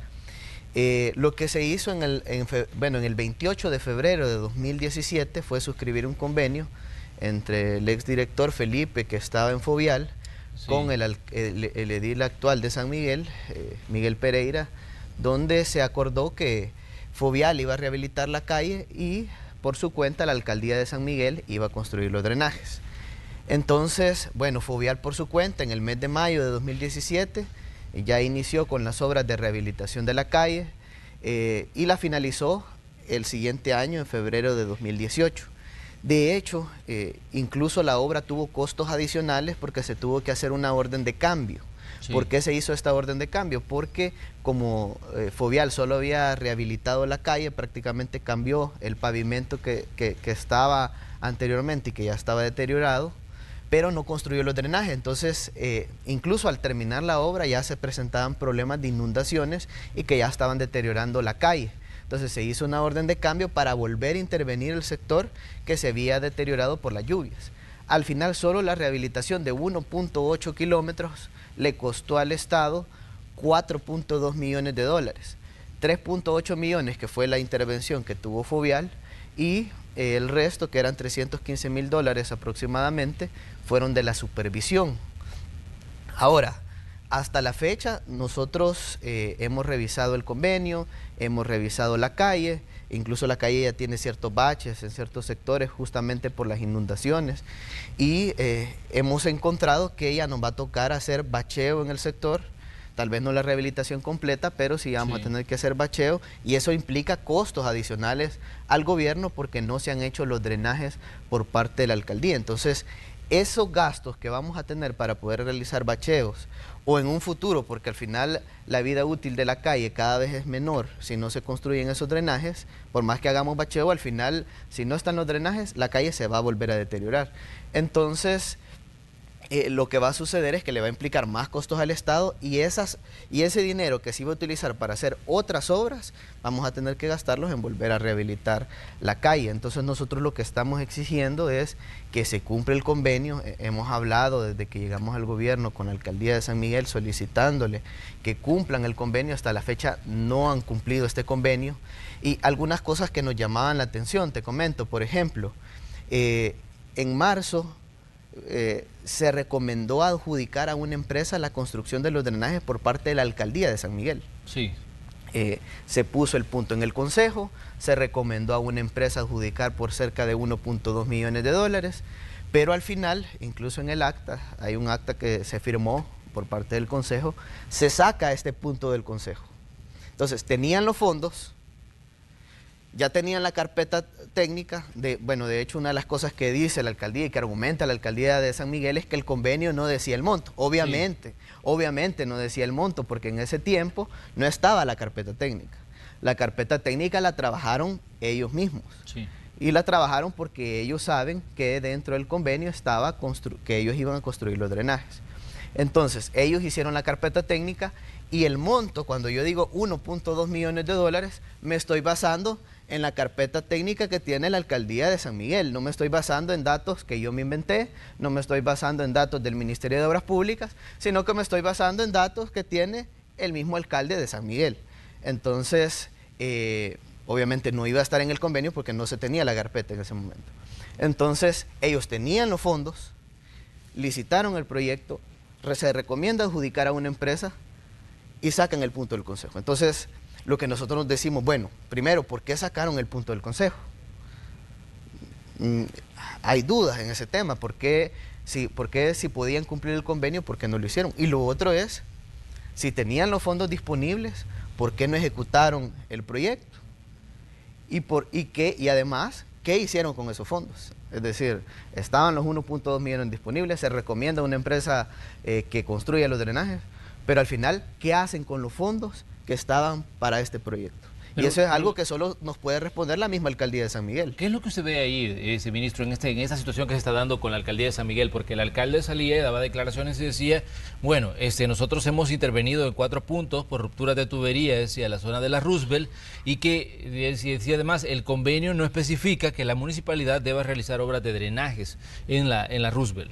Nosotros incluso eh, en, en el aviso penal que vamos a poner por daños y perjuicios eh, eh, a la calle es justamente por eso. No es, nosotros cuando llegamos ahí no es tanto por el incumplimiento del convenio, porque el incumplimiento del convenio nosotros estamos haciendo nuestro reclamo aparte, sino por el daño que va a sufrir esa calle por no haber construido los drenajes respectivos. Ahora, eh, ellos saben que había un compromiso por parte de la Alcaldía Municipal de San Miguel de construir los drenajes. De hecho, por algo tenían los fondos para hacerlo, por algo licitaron la carpeta técnica, la adjudicaron, hicieron el diseño de los drenajes, eh, licitaron la construcción, tenían el dinero para hacer la construcción de esos drenajes y al final sacan el punto del consejo. Entonces, lo que no nos explicamos nosotros y que nos queda duda es qué hicieron con los fondos que estaban disponibles para construir los drenajes. Lo, Además, lo, lo el- que usted ve ahí, alcaldía- es, hay intención entonces de, de- de no cumplir con el convenio y utilizar o, de- o- o darle, digamos, otro giro a esos fondos que se iban a utilizar para hacer estos drenajes en la Roosevelt. Sí, porque por algo lo sacaron el punto del Consejo. Lo otro es, eh, ellos mismos están diciendo, por ejemplo, eh, e- ellos dicen que no hay tiempo ni monto para poder ejecutar esto. Entonces ahí mismo están afirmando incluso que sí lo tienen que hacer. Lo que pasa es que no hay tiempo. Puede ser en cualquier tiempo, según ellos.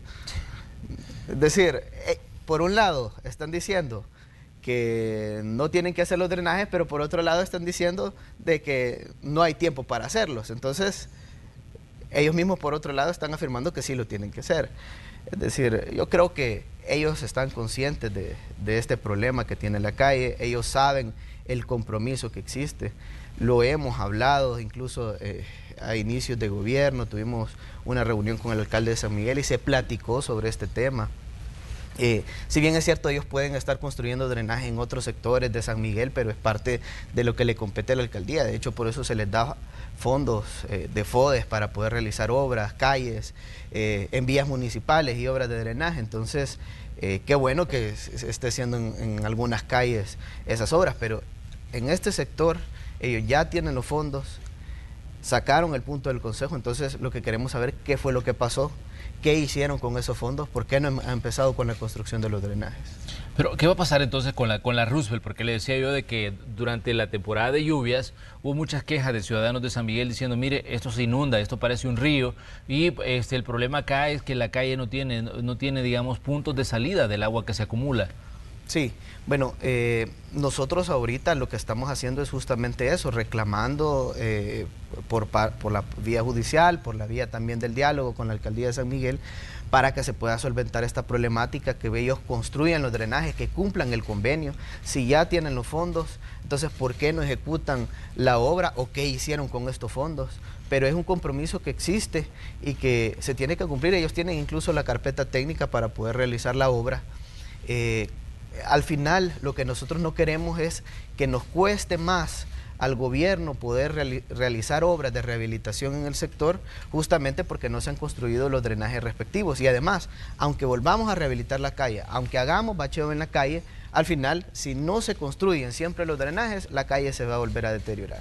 Entonces son cosas que nosotros queremos evitar, no queremos que se haga una carga más al Estado, porque al final quienes pagan todo esto son todos los salvadoreños, porque todas las obras que podríamos hacer, más calles, más vías que no están pavimentadas en la actualidad y que nosotros pudiéramos pavimentar, eh, construcción de cubos, etcétera, cualquier tipo de obra que nosotros podríamos realizar, al final eh, vamos a tener que gastarla en volver a intervenir la calle si no se construyen los drenajes. ¿Está mintiendo el alcalde de San Miguel cuando dice de que no habían este compromiso específico de la, de la alcaldía entonces para, para construir esos drenajes?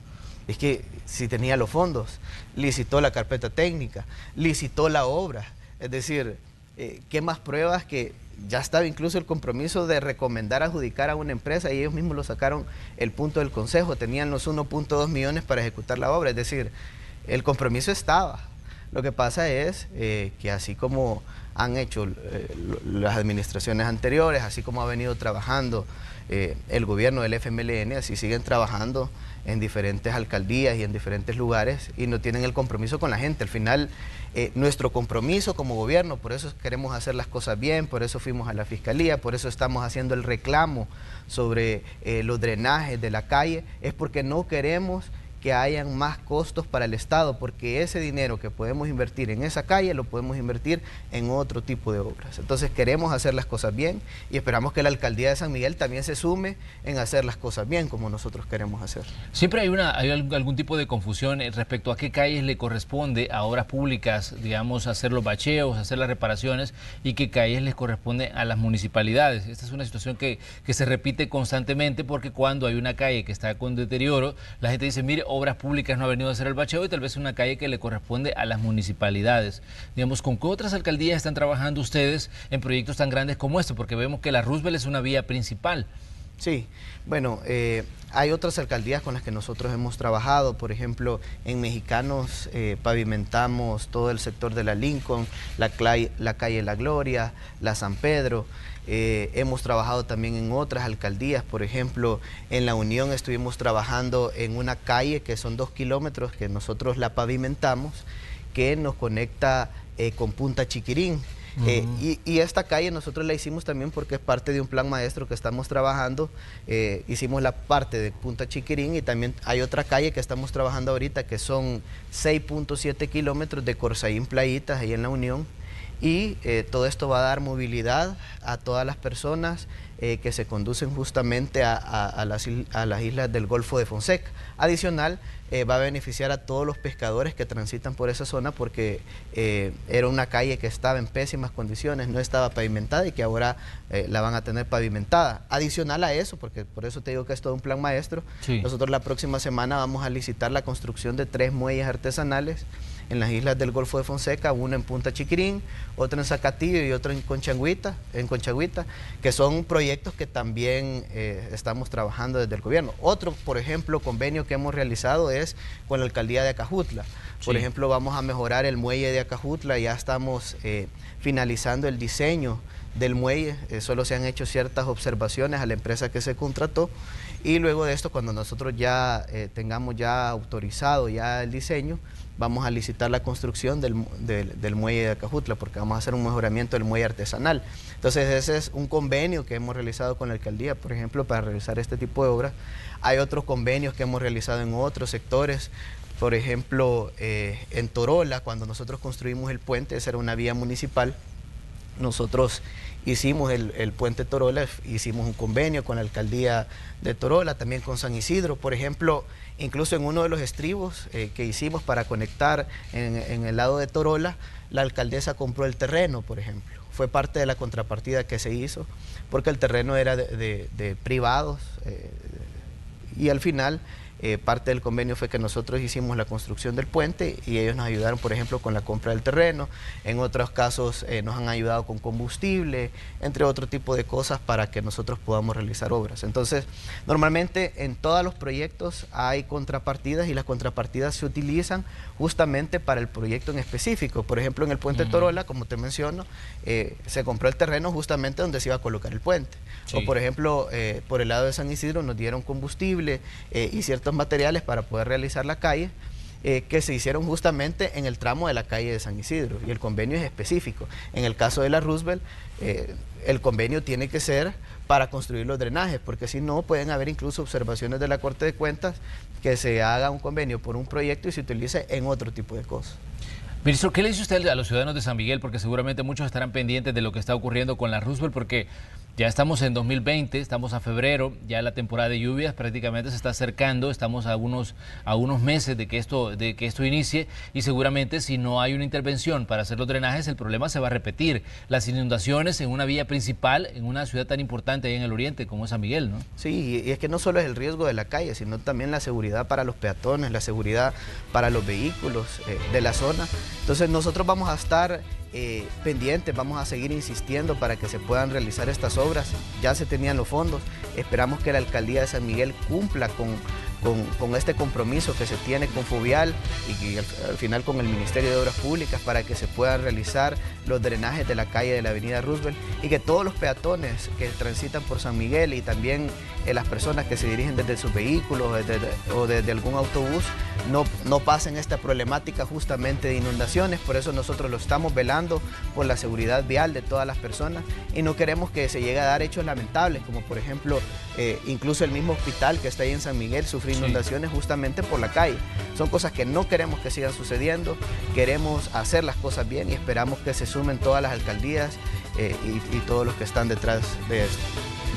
Vamos a hacer una pequeña pausa comercial, pero también hay otros temas, hay otros proyectos que están en desarrollo. El bypass de la libertad es un punto importante. Otro, el viaducto en la zona de la Panamericana a la altura del tramo Los Chorros. Otro más, el proyecto Surf City, que va a implicar también la construcción de, o la ampliación de la carretera litoral. De eso vamos a hablar cuando regresemos aquí en la entrevista de Hechos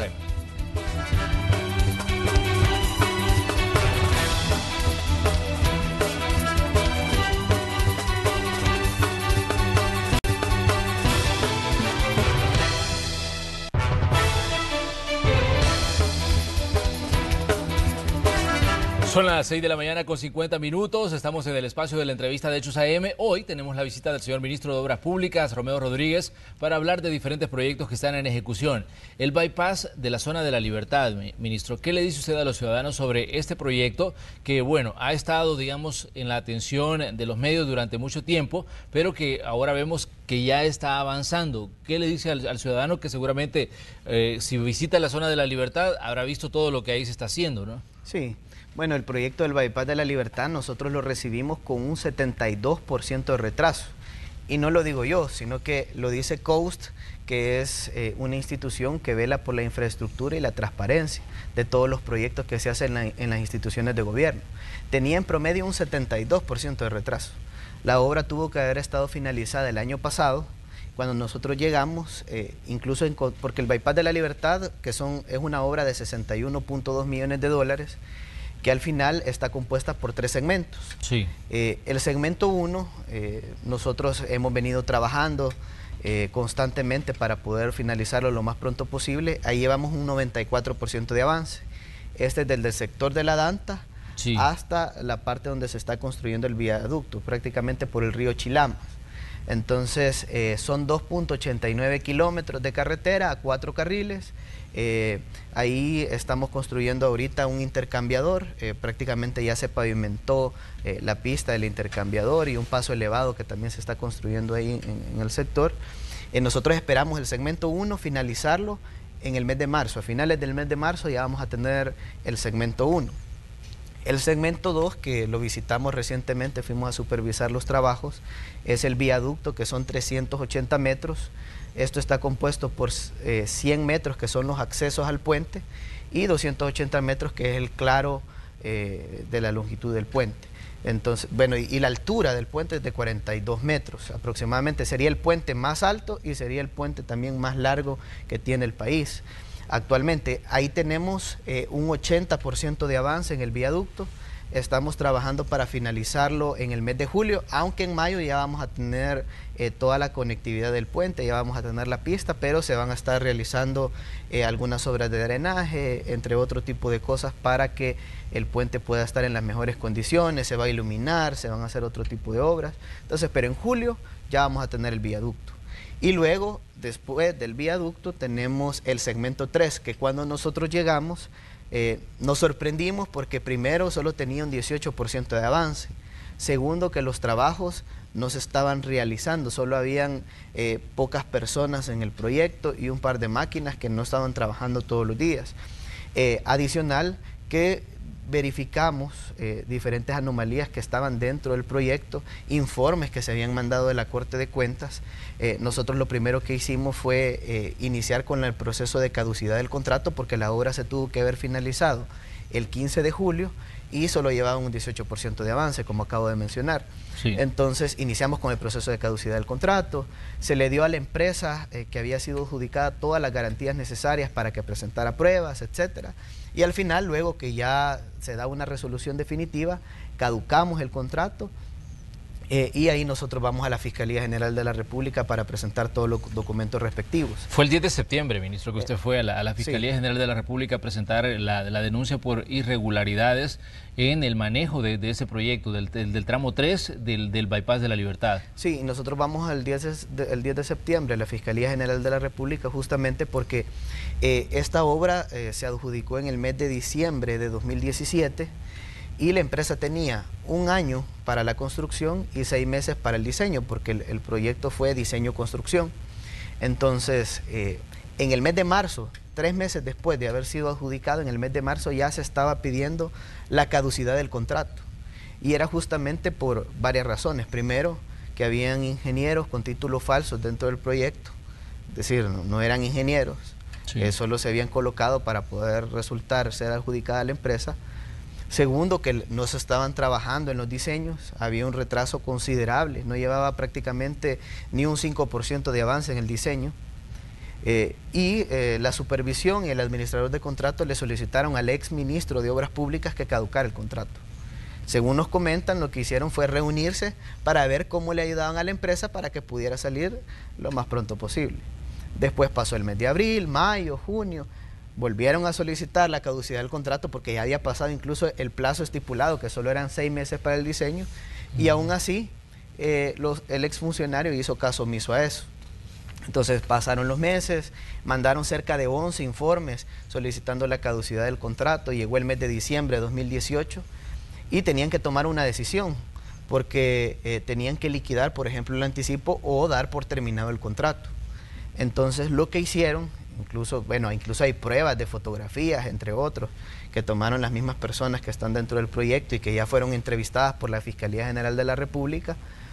Eh, incluso hay una, una foto de una pizarra donde le quitaron, bueno, reunieron a los administradores de contrato, a diferentes personas del ministerio y les quitaron los celulares y acordaron ese día la manera en la cual le iban a entregar un anticipo de 5 millones de dólares a la empresa para que pudiera comenzar a ejecutar la obra, a pesar que tenía observaciones en el diseño, a pesar que según eh, las mismas personas de la Dirección de Planificación de la Obra Pública, eh, solo tenía un 60% de avance el diseño. Eh, hacía falta un 40% para poder terminarse. Entonces le entregaron así el anticipo a la empresa, obviamente buscaron los mecanismos. Al final lo que hicieron fue mandar un memorándum al ex ministro de Obras Públicas y ponían ahí que si él no contestaba le iban a entregar el anticipo. Eh, era la forma de cómo buscaron para favorecer a una empresa, intereses particulares, le entregan los 5 millones, la empresa empieza a ejecutar cierto tipo de obras, al final eh, pensaban ellos que de enero 2019 a junio 2019 iban a terminar la obra, no fue así, de hecho, solo llevaban un 18% de avance, ni tan siquiera si la obra iba a ser un año, al menos hubieran llevado en junio un 50%. ¿Cuánto, ¿cuánto significa?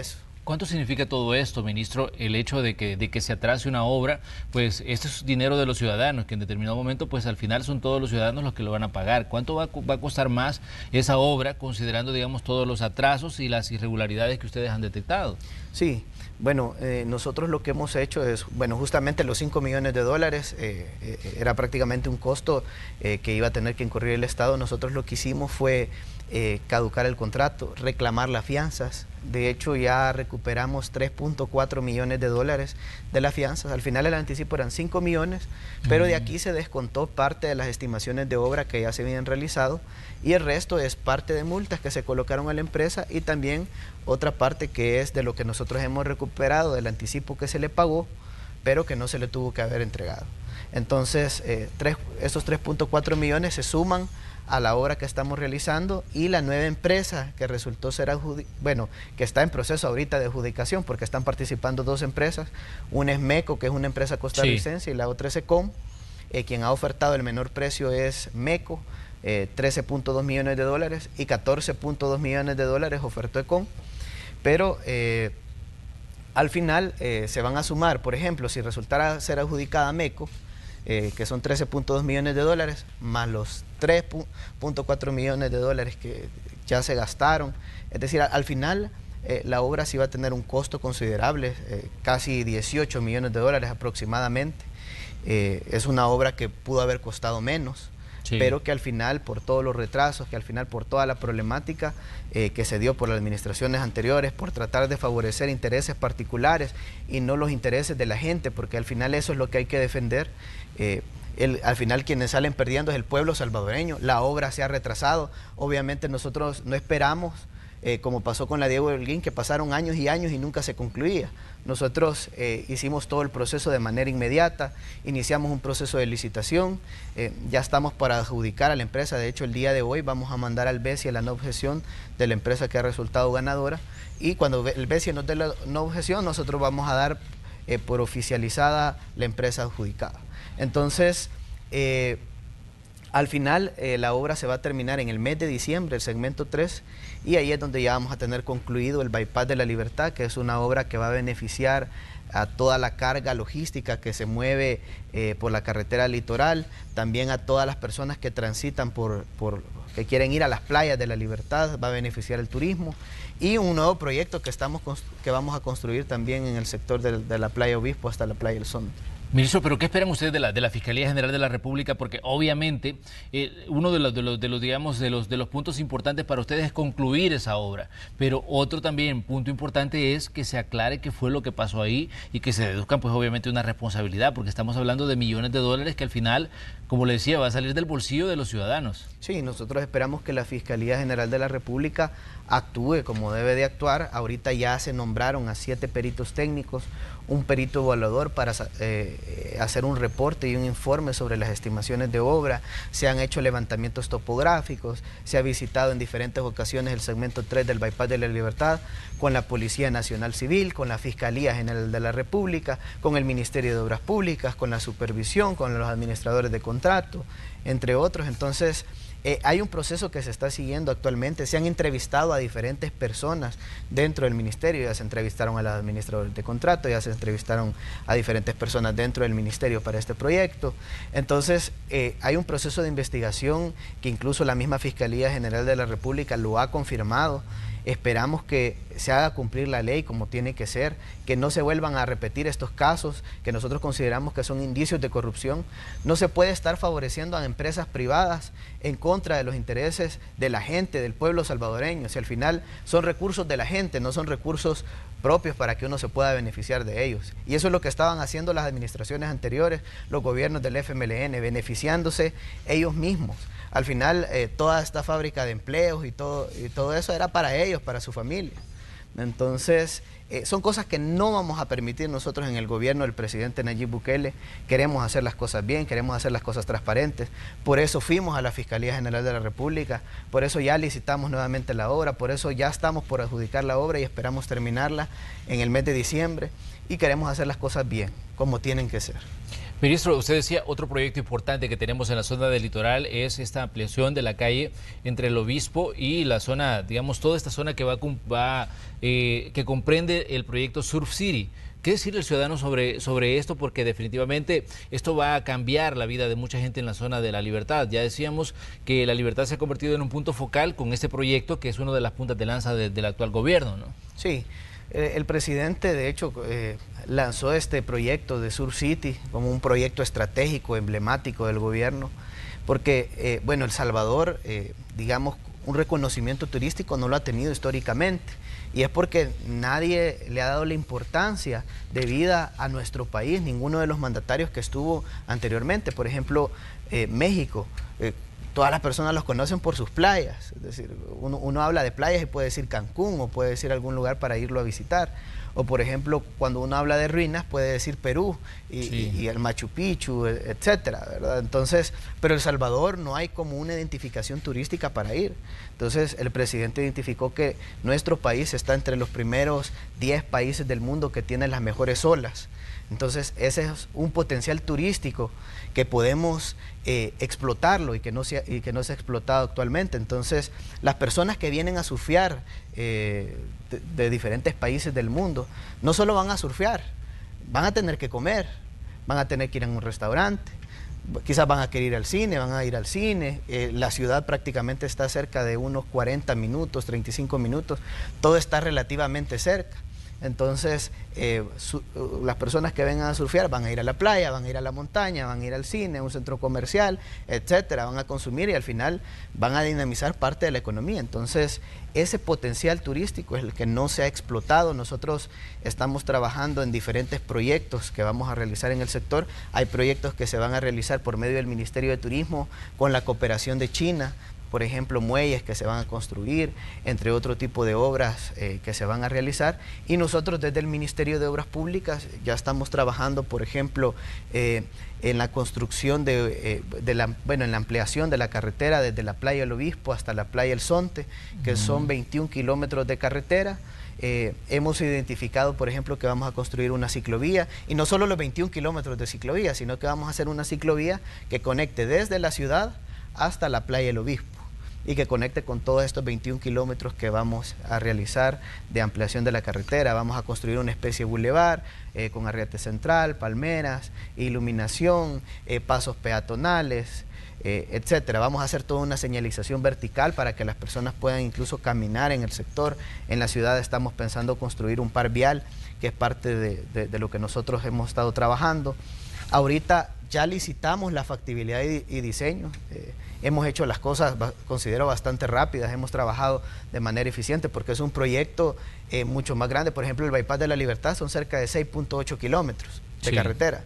Este proyecto son 21 kilómetros de carretera y eh, va a beneficiar eh, prácticamente no, no, solo el turismo que se va a desarrollar en la zona, sino también la carga que pasa por la carretera litoral que va a venir a cuatro carriles y se va a conectar con el bypass que ya lo vamos a tener construido a cuatro carriles. Entonces ya licitamos, por ejemplo, eh, la factibilidad y el diseño.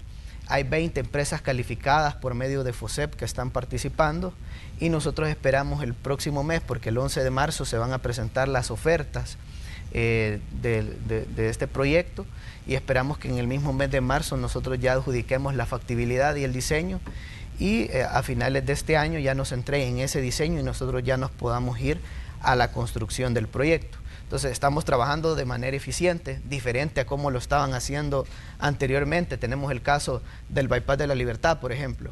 Sí. 2015 se dio el préstamo y nosotros llegamos en 2019 y el proyecto no estaba terminado, al contrario, 72% de retraso. Bypass de la Libertad, en 2009 tenían estimaciones de costo. Llegó el 2019 y ni tan siquiera habían puesto la primera piedra. Es decir, es totalmente diferente cómo estamos trabajando. Estamos eh, haciendo las cosas de manera eficiente para que de verdad las obras lleguen al pueblo.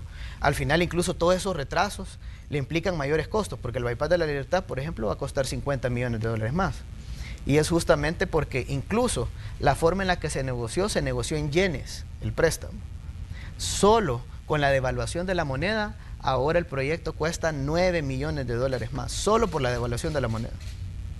Entonces, eh, la forma y la negligencia de los gobiernos anteriores son cosas que este gobierno no va a repetir. Estamos haciendo las cosas bien y con este proyecto eh, de Sur City vamos a beneficiar a todo nuestro país porque va a ser un potencial turístico, eh, va a mejorar la conectividad de todo el sector con las playas de la libertad.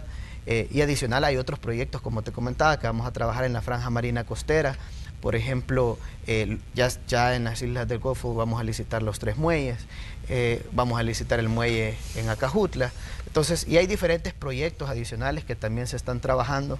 Incluso en la misma carretera del Puerto de la Libertad se va a iluminar, ya licitamos un asocio público-privado de iluminación, cámaras de biovigilancia, que de hecho el 6 de junio van a presentar ofertas las empresas y eh, se va a iluminar desde Comalapa hasta el sector de Lourdes y desde Santa Tecla hasta la carretera del Puerto de la Libertad. Entonces, y va a ser un proyecto autosostenible. No, definitivamente que la iluminación es clave porque sabemos que hay vías que son principales, pero es un problema el hecho que no tengan iluminación. Lo que pasó con la zona de la Monseñor Romero, por ejemplo, de que había un tramo que entre no se definía si era obras públicas o era la alcaldía de Antiguo Cuscatlán la que tenía que iluminar una vía principal que la vemos, digamos, que es un, lugar pues muy bonito para, para circular, pero por la noche se vuelve una vía peligrosa por el, el, simple hecho de que no había una iluminación completa o no hay una iluminación completa ahí. Sí, de, hecho, según estudios eh, de instituciones con alto reconocimiento en seguridad vial, como ASTO, eh, dice que la iluminación puede reducir hasta un 65% los accidentes fatales. Entonces, eh, la iluminación es sumamente importante para la seguridad vial de las personas. En la Monseñor Romero nosotros ya tenemos este proyecto de asocio público-privado y desde ahí eh, se le va a dar autosostenibilidad al proyecto porque, eh, digamos, la empresa que al final gane esta licitación, eh, si se llegan a robar una luminaria, si se llegan a robar un cable, la misma empresa va a sustituir y va a reponer todo esto que se lleguen a robar o lo que se dañe. Si se daña una luminaria, ellos la van a reponer. Igual se van a colocar cámaras de biovigilancia que van a detectar placas, que van a dar seguridad a la población conectadas con el 911 de la Policía Nacional Civil, etcétera. Entonces va a ser un proyecto autosostenible, al final la empresa va a tener rentabilidad por medio de la explotación de la publicidad. Actualmente, de hecho, por la ley de carreteras y caminos, la única forma de concesionar eh, todo el tema de los derechos de vía para explotar la publicidad es por medio de un asocio público-privado. Y hasta la fecha el Ministerio de Obras Públicas por toda la publicidad que se ha colocado en las carreteras, ha recibido cero dólares. Cero dólares, nada. Incluso la mayoría de las vallas o, de MUPIs que se colocan en la carretera del Ministerio de Obras Públicas eh, se han dado eh, sin tener costos. Es decir, las empresas solo llegan a colocar eh, los MUPI, solo llegan a colocar eh, las cosas y al final no hay cobro. Entonces son cosas que nosotros ya estamos cambiando. Por ejemplo, en este proyecto de las utilidades adicional de la iluminación, adicional a las cámaras de vigilancia, vamos a recibir un 5% de los ingresos brutos. Entonces, eh, y adicional, que la misma empresa va a pagar la energía eléctrica, porque eso es uno de los problemas que normalmente se dan cuando uno ilumina una carretera que nadie quiere pagar la energía eléctrica. Entonces, la empresa va a pagar la energía eléctrica. Entonces, eh, es un proyecto autosostenible, eh, va a mejorar la seguridad vial de las personas, va a y no solo la seguridad vial, sino que es la seguridad contra la delincuencia, porque van a haber cámaras eh, de videovigilancia en todo el sector, son 143 kilómetros desde Comalapa hasta Lourdes y desde Santa Tecla hasta la carretera del Puerto de la Libertad, y adicional, eh, esta ya es la licitación del asocio público-privado, pero adicional nosotros estamos trabajando junto con Fomilenio en la factibilidad de 500 kilómetros de carretera adicionales con el mismo proyecto de iluminación y de cámaras de, videovigilancia en diferentes sectores. La carretera de Oro, la Troncal del Norte, la carretera del Kilo 5 a la Chadura, entre otras carreteras que consideramos que son un potencial para nuestro país y que sabemos que necesitamos mejorar los términos de seguridad vial. Ministro, cuando la, gente se da cuenta que, usted, por ejemplo, va a estar en un espacio como este, me preguntan, mire, ¿y qué es lo que se va a hacer en, en vías principales como el Boulevard El Ejército? Ahí tenemos una, una movilidad importante de gente que, que, todos los días tiene que transitar ahí. Y bueno, el problema, el problema se agravó de la movilidad cuando se creó el, famoso carril segregado, ¿no? que solo, solo, iba a ser utilizado por la, gente del CITRAMS. Luego vino la, la, resolución y el fallo de la Corte Suprema de Justicia, donde pues dijeron que se tenía que abrir a la circulación general. Pero me dicen, hay algunos tramos donde todavía pues el embotellamiento lo genera el hecho de que se hayan colocado sapos, que se haya colocado una infraestructura que ahora pues puede ser utilizada por todos. Pero digamos, ustedes como obras públicas, ¿qué dicen de una vía como el Boulevard El Ejército, que sigue siendo principal para conectar San Martín y Lopango con el centro de San Salvador? Sí, bueno, yo creo que hay diferentes carreteras que tenemos problemas de tráfico. Ahí nosotros podríamos decir, bueno, vamos a aumentar un carril, vamos a aumentar dos carriles a la carretera y al final, eh, en el tiempo ya vamos a tener nuevamente una buena, vamos a incentivar nuevamente los vehículos para tener una buena cantidad de vehículos que al final va a volver a generar tráfico. Entonces, eh, lo que le han apostado los países de primer mundo no es a seguir ampliando carreteras, eh, si bien es cierto, sí se siguen construyendo, pero eh, es, los países de primer mundo han entendido que no es esa la solución para el tráfico, sino que es justamente apostarle al transporte masivo. Y es una de las cosas que nosotros le estamos apostando. si bien es cierto, eh, está el BRT, por ejemplo, eh, pero nosotros eh, estamos ahorita trabajando en un, estudio de transporte masivo en el área metropolitana porque hemos identificado, por ejemplo, que el BRT en horas pico tendría que transportar 19 mil pasajeros, por ejemplo, desde Soyapango hasta el Salvador del, hasta el Salvador del Mundo. Entonces, y actualmente solo transporta cerca de 11 mil pasajeros. Incluso se han hecho escenarios, si ampliamos la carretera, y nos llega eh, las simulaciones que hemos hecho hasta 16 mil pasajeros. No llegamos ni tan siquiera a la cantidad de pasajeros que debemos de transportar en horas pico. Entonces, por eso hemos iniciado un estudio de transporte masivo en el área metropolitana de San Salvador, donde eh, lo que estamos viendo es eh, diferentes tipos de transporte. Podemos hablar de transvía, podemos hablar de monorriel, podemos hablar de metro subterráneo, podemos hablar de diferentes sistemas de metro para el área metropolitana de San Salvador, que sabemos que va a tener mucho más impacto que construir una nueva carretera, que ampliar carriles, porque es algo que le debemos de apostar. El transporte masivo en nuestro país es, ineficiente, es de mala calidad. Entonces, si nosotros no le apostamos al transporte, no vamos a mejorar las condiciones de vida de la población, la calidad de vida, porque viven eh, horas y horas en el tráfico. Todas esas son horas productivas que las personas están perdiendo, eh, horas de vida Incluso eh, hay personas que por el estrés hasta se producen enfermedades, entre otras. Entonces, eh, nosotros estamos trabajando en este proyecto que va a mejorar la calidad de vida de todos. Eh, nosotros consideramos, incluso hemos hecho cronogramas de tiempos, hemos estimado que el próximo año ya vamos a tener la factibilidad del proyecto y de acuerdo a los resultados de este proyecto nosotros después nos vamos a ir a un proceso de diseño-construcción para poder ejecutar la obra que tengamos que hacer. Lo que sí tiene que saber la población es que este gobierno está preocupado por resolver los principales problemas y entre ellos está el tráfico, el, transporte colectivo donde se está moviendo el, 70% de las personas que se están movilizando ahorita se mueven en el transporte colectivo, entonces es la mayoría. Entonces eh, nosotros estamos trabajando para beneficiar a la mayoría de la población. Adicional, no solo va a ser después del 70%, porque con un transporte masivo, eh, con un metro, monorriel eh, o un transporte de calidad, personas que se están movilizando actualmente en vehículo particular se van a movilizar en este tipo de transporte. Entonces, ahorita, por ejemplo, el proyecto que estamos trabajando para la factibilidad es desde el aeropuerto de Ilopango hasta llegar a Santa Tecla. Entonces, eh, ahorita están las empresas en un proceso de precalificación por medio de FOSEP y luego nosotros ya vamos, eh, luego de la precalificación ya vamos a dar inicio a la licitación para que descarguen las bases y luego de esto eh, esperamos este mismo año adjudicar y, que el próximo año nos entreguen los estudios respectivos. Y con esto ya tomar las mejores decisiones para la población, que al final resuelvan de verdad el problema del tráfico, porque no queremos hacer cosas como se hacían antes, que hacían por ejemplo un paso a desnivel y que el paso a desnivel iba a terminar a un redondel. Entonces, eh, y que lo inauguraban eh, un día en la noche, estaban felices y contentos celebrando que habían hecho la obra y el día siguiente ya subían fotos la gente de que había tráfico, que ah, eh, se había hecho peor. Entonces son cosas que no queremos que sucedan, entonces por eso de verdad estamos trabajando de manera responsable con estudios que nos den la mejor alternativa de movilidad. Es que de hecho, bueno, pasos como por la zona de Dema Ferrer, el problema no se resolvió ahí, porque tenemos un congestionamiento a diario entre la zona del Rondel Luceiro y la zona de Maferrer, que se vuelve un problema circular por ese, por ese sector, igual con toda la, parte de la, de la, zona del Escalón.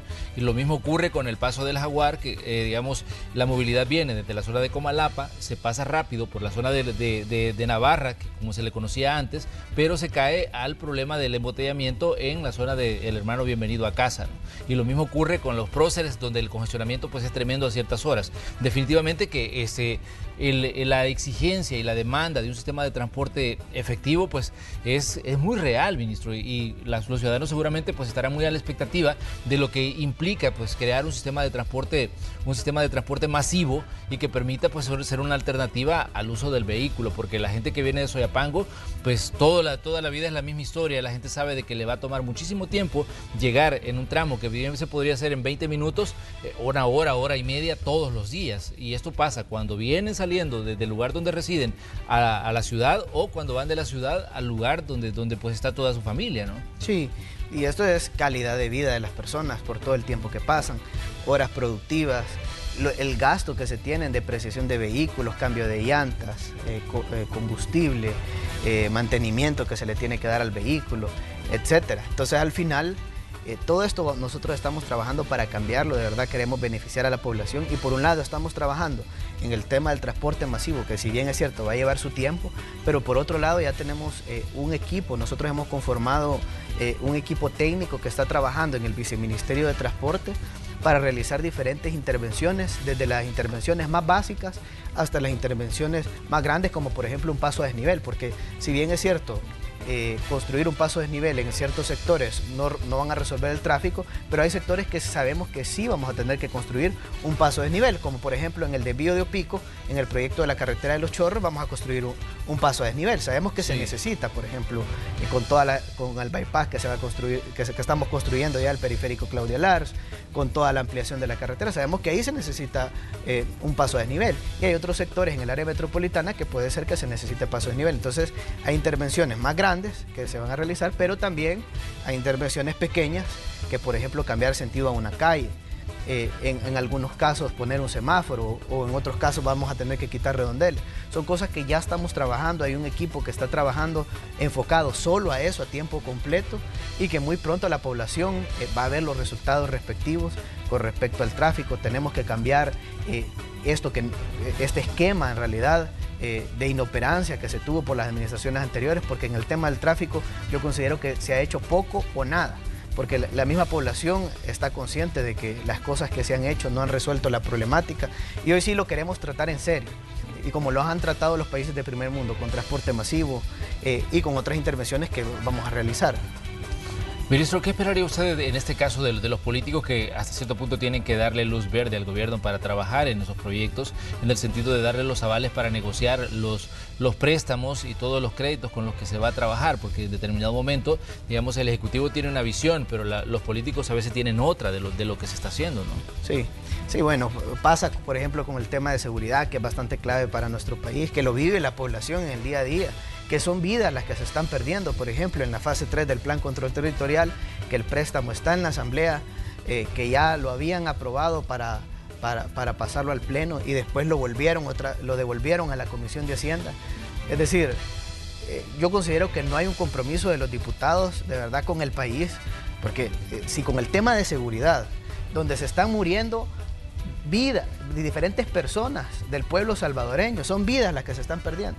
Y aún así, no quieren aprobar el financiamiento del plan, control, del plan control territorial, un plan que está dando resultados, que ha reducido los homicidios en un 60% y que queremos seguir reduciendo los homicidios. Pero para poder seguir reduciendo los homicidios necesitamos que aprueben el financiamiento, porque hasta la fecha no han aprobado ni un dólar de financiamiento. Es decir, lo que han hecho es aprobar reorientaciones de fondos del mismo presupuesto que ya estaba. Y de ahí se han empezado a construir, por ejemplo, cubos que son parte de la fase 2 del Plan Control Territorial eh, en diferentes sectores. Eh, también, eh, por ejemplo, hablan de que se, se, aprobaron 700 millones, pero eso era parte del presupuesto. Es decir, era parte del presupuesto que ellos mismos dejaron de financiado, lo mismo que se ha aprobado. No se ha aprobado ahorita ni un solo dólar del financiamiento para el Plan Control Territorial, ni ningún proyecto del gobierno. Entonces, eh, si no lo han aprobado para seguridad, lo mismo, lo mismo va a pasar con los diferentes proyectos porque ellos no están a favor del pueblo. Yo les insisto a los diputados que apoyen al gobierno, que apoyen los planes que tenemos. Estamos dando los resultados que la población necesita. Al final, si no nos apoyan, va a ser la misma población la que les va a pasar factura. Porque todo esto la población lo siente. Ellos han visto los resultados. Y, igual con el proyecto, por ejemplo, de la carretera de los Chorros. Ya nos aprobó el BES y los fondos, 245.8 millones de dólares.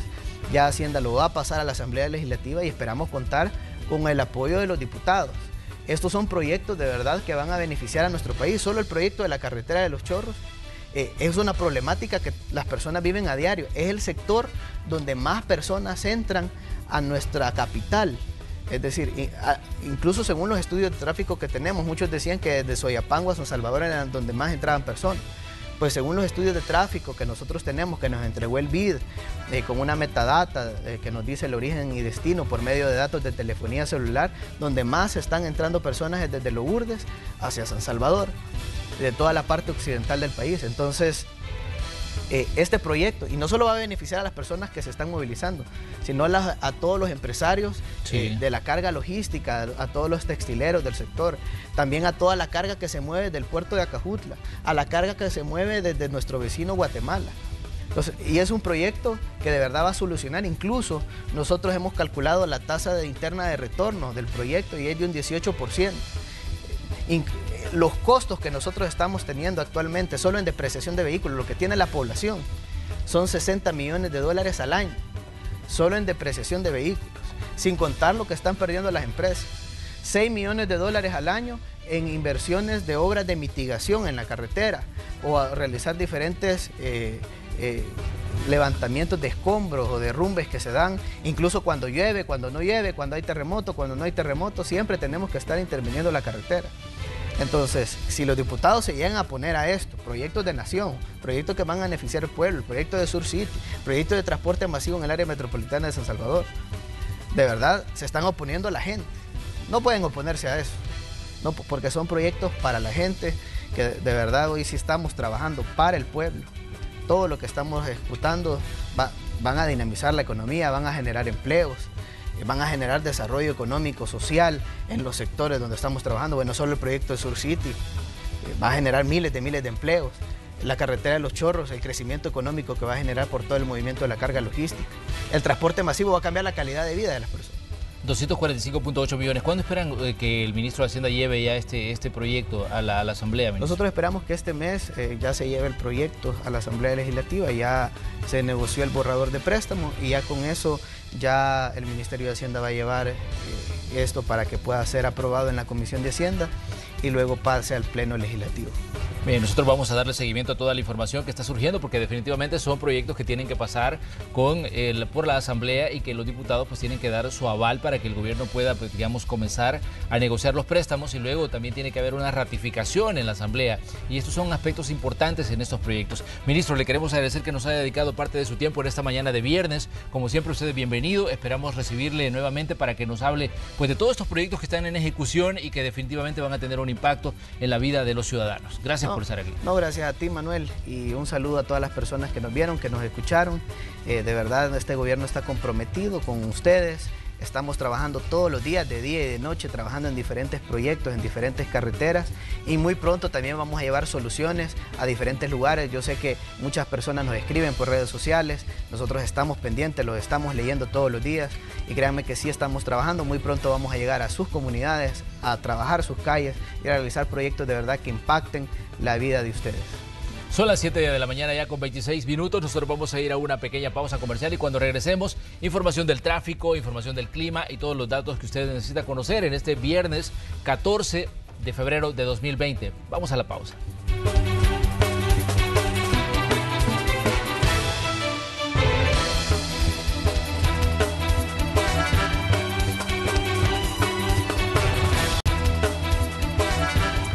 Gracias por continuar con nosotros. Gracias a Manuel Burgos y su invitado por los últimos minutos en la entrevista.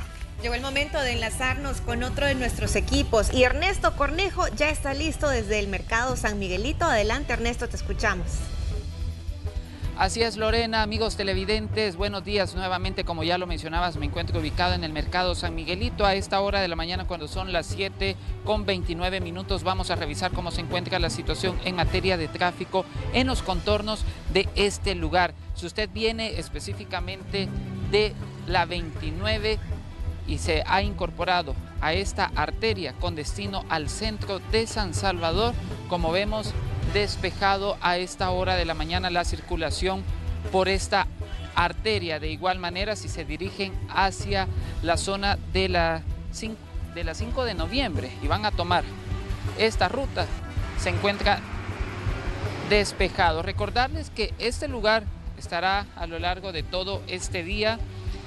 Los comerciantes de flores estarán pues a disposición de los salvadoreños por lo que han habilitado la parte parqueo de los contornos de este lugar para que puedan llegar sin ningún problema. Así que ese es el panorama que usted se va a encontrar a esta hora de la mañana, lo que usted está viendo, pues las recomendaciones, incluso los mismos automovilistas nos mencionaban hace algunos minutos que necesitaban específicamente en este punto que gestores de tráfico estén para que puedan tratar de evitar algún tipo de accidentes lo que usted está viendo en sus pantallas es pues justamente lo que les mencionaba para poder evitar esta situación en horas pico mencionaban ellos.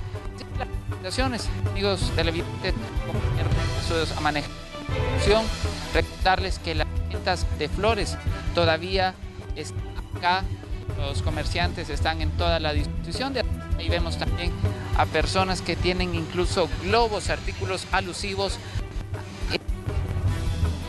febrero. Nosotros nos mantendremos pendientes, hacían un llamado de atención también a las autoridades de migración y es que nos comentaban anteriormente que ellos han tenido atraso a lo largo de estos días atrás en aduanas. ¿Por qué mencionaban ellos? Y es que decían que los productos, por ejemplo las flores, no se les había despachado al tiempo establecido, por lo que esta situación les ha generado incluso algunos pérdidas en su economía, por lo que hacían el llamado para que puedan tratar de gestionar esta situación específicamente en las aduanas del país y así evitar algún tipo de atrasos. Nosotros nos vamos a mantener pendientes a esta hora de la mañana de esta información y por supuesto lo que se está desarrollando a nivel nacional e internacional. Bueno, eh, Ernesto, ahí tenemos parte del panorama a esa hora del tráfico y también consultarte si has visto que eh, desde que te has mantenido ahí ha aumentado eh, el tránsito por la zona, también el ingreso de las personas al mercado San Miguelito precisamente para adquirir los diferentes arreglos en este lugar. Así es, Iliana, la situación acá en los contornos del mercado. Vamos a mostrarles ahorita cómo se encuentra eh, esta parte cuando se dirigen ustedes para el centro de San Salvador. Sí, se ha tornado eh, bastante, por minutos, bastante complicado porque salvadoreños antes de ir a sus labores o incluso pues otros vienen por pedidos especiales hasta este lugar en cuanto a los artículos de flores artificiales, naturales, se torna un poco complicado. Lo que ustedes viendo en sus pantallas es el carril que se que dirige al centro de San Salvador. A veces eh, los salvadoreños siempre las cosas la última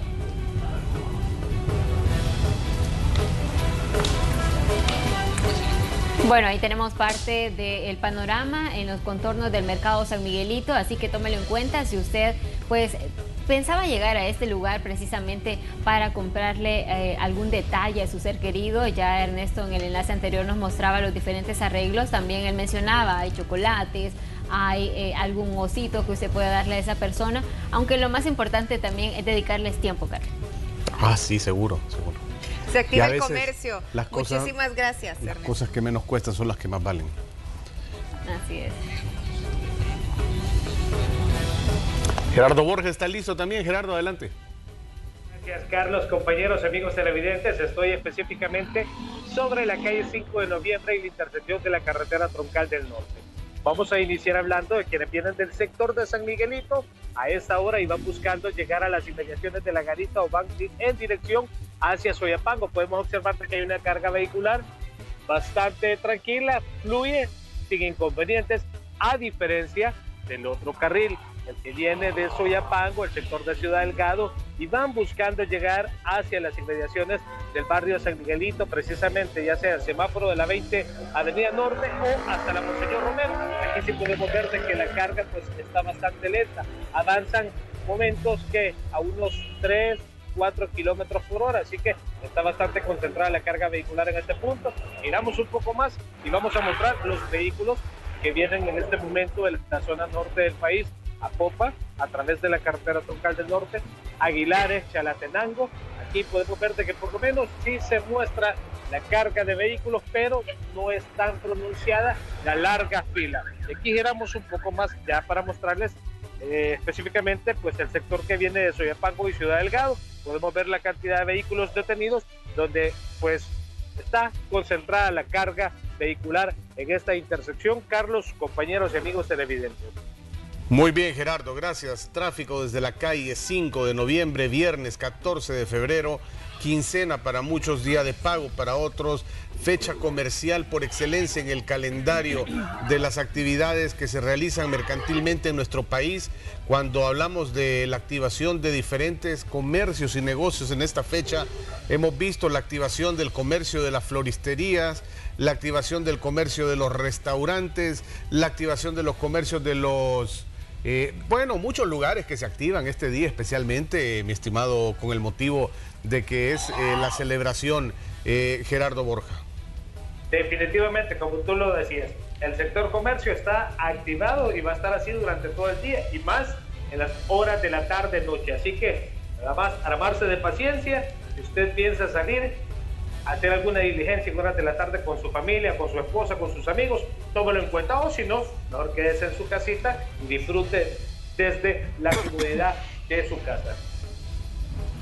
Bien, muchas gracias Gerardo por este informe, por esta recomendación también y vamos a estar pendientes de establecer contacto contigo más adelante. Estaremos pendientes Lorena, saludos para todos. Bueno, y es momento de hacer una pausa, pero no nos cambie porque hay más información en Noticiero Hechos.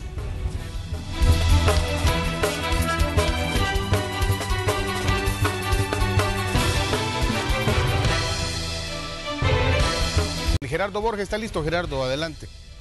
Gracias, Carlos. Amigos televidentes, información en desarrollo. Un pequeño accidente leve, sin, solo con daños materiales, no hay lesionados pero eso está generando una fuerte carga vehicular a esta hora sobre la calle 5 de noviembre. Estoy a un costado de la comunidad La Isla y del cuartel del Cuerpo de Agentes Metropolitanos de San Salvador. Estos son los vehículos involucrados en este percance vial. Ellos están a la espera que vengan las autoridades de la División de Tránsito de la Policía para poder hacer la inspección y verificar la culpa de quién sería en este percance. Voy a girar un poco la cámara para que ustedes vean cómo ya se complicó mucho más de lo que ya les estábamos anunciando anteriormente en el enlace de tráfico anterior. Precisamente solo me moví unas cuadras más adelantito y nos encontramos con el percance vial. Aquí pueden observar de verdad colapsado de momento, así que le hacemos el llamado a las autoridades correspondientes para que se puedan desplazar a esta zona y así poder retirar los vehículos que se encuentran involucrados en este percance vial. Esa es parte de la información, Carlos, que estamos compartiendo a esta hora, información en desarrollo. Sí, son estos golpes leves, son estos choques leves, donde es un... A veces ni se alcanza a ver el daño, mire, es un rozón... Ah, no, a ver, Gerardo. No, pero aquí sí hay un poquito más de... ¿O solo es el toquecito en el bumper, Gerardo? En realidad no se ve mayor cosa. Es un golpe en el bumper.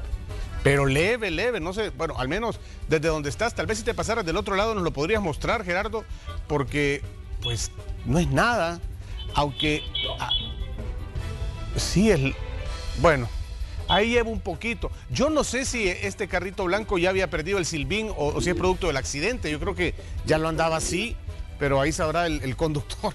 Porque si es esto, pues sí, está, está fuerte para él, pero no veo de dónde el carro negro lo podría haber impactado. Lo cierto es que por pequeño que sea el toquecito, mira el tráfico que está generando desde ya y hay que eh, platicar un tema bien importante. Esta política que tienen muchas empresas de, seguros que dicen, si usted golpea si tiene un accidente, no mueva los carros. O a veces la misma policía te dice, no mueva los vehículos. Bueno, no mueve los vehículos, pero en lo que llega el seguro, la policía, se hace un tráfico de los mil demonios, como estamos viendo ahorita, Gerardo. Precisamente, y mire, lamentablemente lo que mencionamos siempre, la mayoría de motociclistas infringen este tipo de acciones. Mira, puedes ver cómo va en sentido contrario y lamentablemente aquí se puede observar la línea amarilla que limita los dos carriles que van hacia San Salvador y un carril que viene hacia Soyapango. Lamentable, pues ver este tipo de abusos de algunos conductores que se exponen a provocar también un percance vial o verse involucrado en estos accidentes. Mira, y en cualquier caso aquí el que pegó es el carro negro, que es el que se ve que tal vez se llevó la peor parte, ¿no? Y el blanco, pues ni alcanzo a verle a dónde le podrían haber golpeado, pero bueno, a menos que quiera sacarlo del silbín también, ¿verdad? En el accidente, pero eh, pues no se mira mucho el, el golpe, Gerardo. Pues precisamente lo que tú mencionas, pues el golpe aparentemente se ve que es, son daños leves, como mencionamos, pues vamos a tratar la manera de mostrar el vehículo negro y mm, pues en sí no se ve mucho, es un medio pachón que tiene, pero sí como tú sabes, ¿verdad? Que en este caso hay que esperar a que las autoridades pues se hagan presentes para que ellos puedan conciliar culpas de quien es cero, como el reglamento de tránsito lo dice y lo estipula, quien pega, paga. De acuerdo, y además, pues bueno, todas las personas que van pasando ahí se le quedan viendo el accidente como y por esto es que estamos detenidos y llevamos en esta trabazón media hora. Esa, ese es el rostro, mira, de las personas, o al menos la expresión que veíamos en uno de los motociclistas, que son a quienes alcanzamos a ver más en tu, en tu imagen, en tu, en tu transmisión. Gerardo, gracias. Gracias a ustedes, Carlos. Bueno, con eso nos vamos a ir a la pausa y regresamos con más.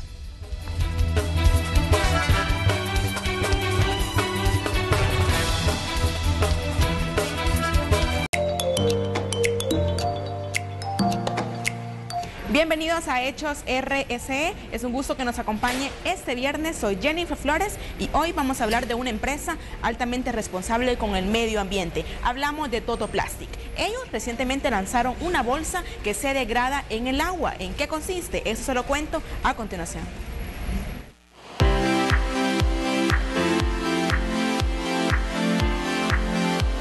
La industria del plástico es una de las más fuertes en El Salvador.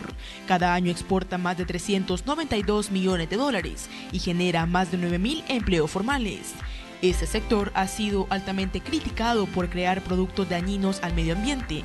Por eso las empresas se esfuerzan en trabajar en productos ecoamigables. Una de ellas es Toto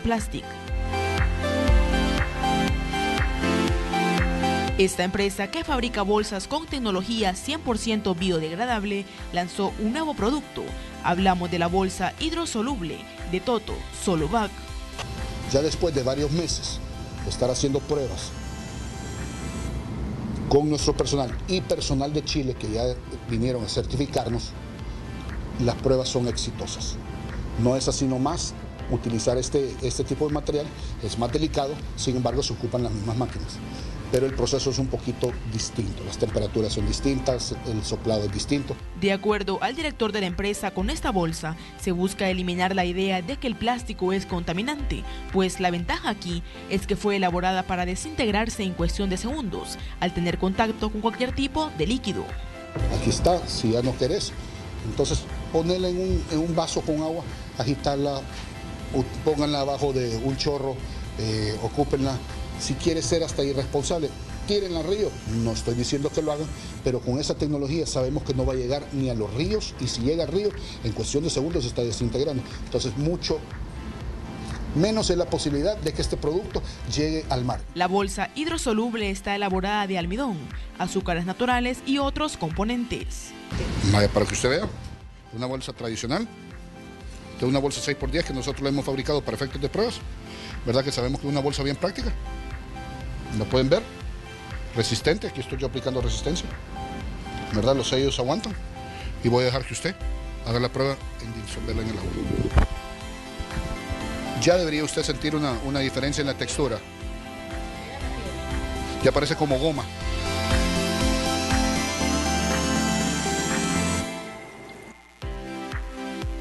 Y aunque usted no lo crea, esta bolsa es tan ecoamigable que una vez degradada, el agua puede ser consumida sin causar ningún daño a la salud. Salud.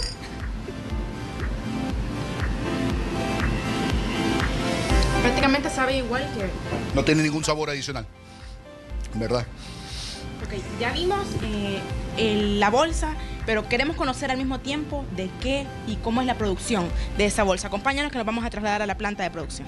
Estas bolsas son elaboradas en máquinas extrusoras que actualmente usa la industria del plástico flexible, lo que significa que solo se requiere reemplazar el material plástico tradicional por la nueva materia prima para poder obtener las bolsas hidrosolubles que se degradan al contacto con el agua. Aquí es donde toda la ciencia inicia. Empieza todo en nuestra tómbola de mezcla para garantizar que la mezcla sea uniforme antes de ser introducida a la tómbola para luego ser procesada en el tornillo sin fin y luego ser extruida. ¿Verdad? Aquí ya podemos ver el material extruido para después ser embobinado y luego pasar a la etapa de corte. En un recorrido el director nos explicó el funcionamiento de cada máquina y la aceptación que ha tenido este producto durante su lanzamiento. Como todo inicio cuesta, ¿verdad? Y lo que esperamos es que las ventas vayan creciendo poco a poco. No podemos esperar que de la noche a la mañana crezca la demanda tremendamente, pero creo que en cuestión de par de semanas o a final de esta semana ya podemos tener un poquito más de expectativas, ya los clientes empezando a ver qué es lo que se hace, más reuniones, más cotizaciones. Entonces, creo que la perspectiva es, está muy buena para este producto. Saben que hay grandes retos y reiteraron su compromiso por seguir creando productos que sean amigables con el medio ambiente. Entonces, un gran reto no solo de empresas, sino que para la industria de empaques flexibles a nivel latinoamericano o americano, ¿verdad? Porque es un material novedoso, eh, extremadamente eh, bondadoso y ecoamigable sobre todo. Con imágenes de Ever Ábalos, Jennifer Flores para Hechos, RCE.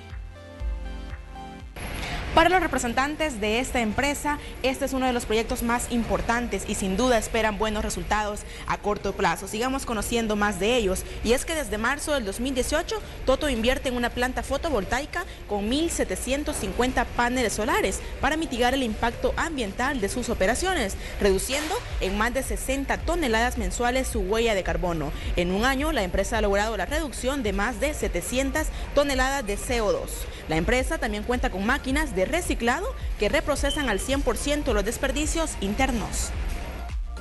Importante el trabajo que esta empresa está desarrollando a favor del medio ambiente, pero hay más proyectos, veámoslos en detalle. Y es que la empresa desarrolla un programa interno llamado Reciclando Ganamos Todos, el cual involucra activamente a los trabajadores, pues ellos llevan desde su casa desechos reciclables a un centro de acopio y en compensación reciben productos de primera necesidad. También destacan el Team Hormiguitas Verdes, un equipo de voluntariado integrado por personas administrativas y de planta, quienes participan en diferentes actividades, como la siembra de árboles y la liberación de tortugas para el cuidado de la fauna marina.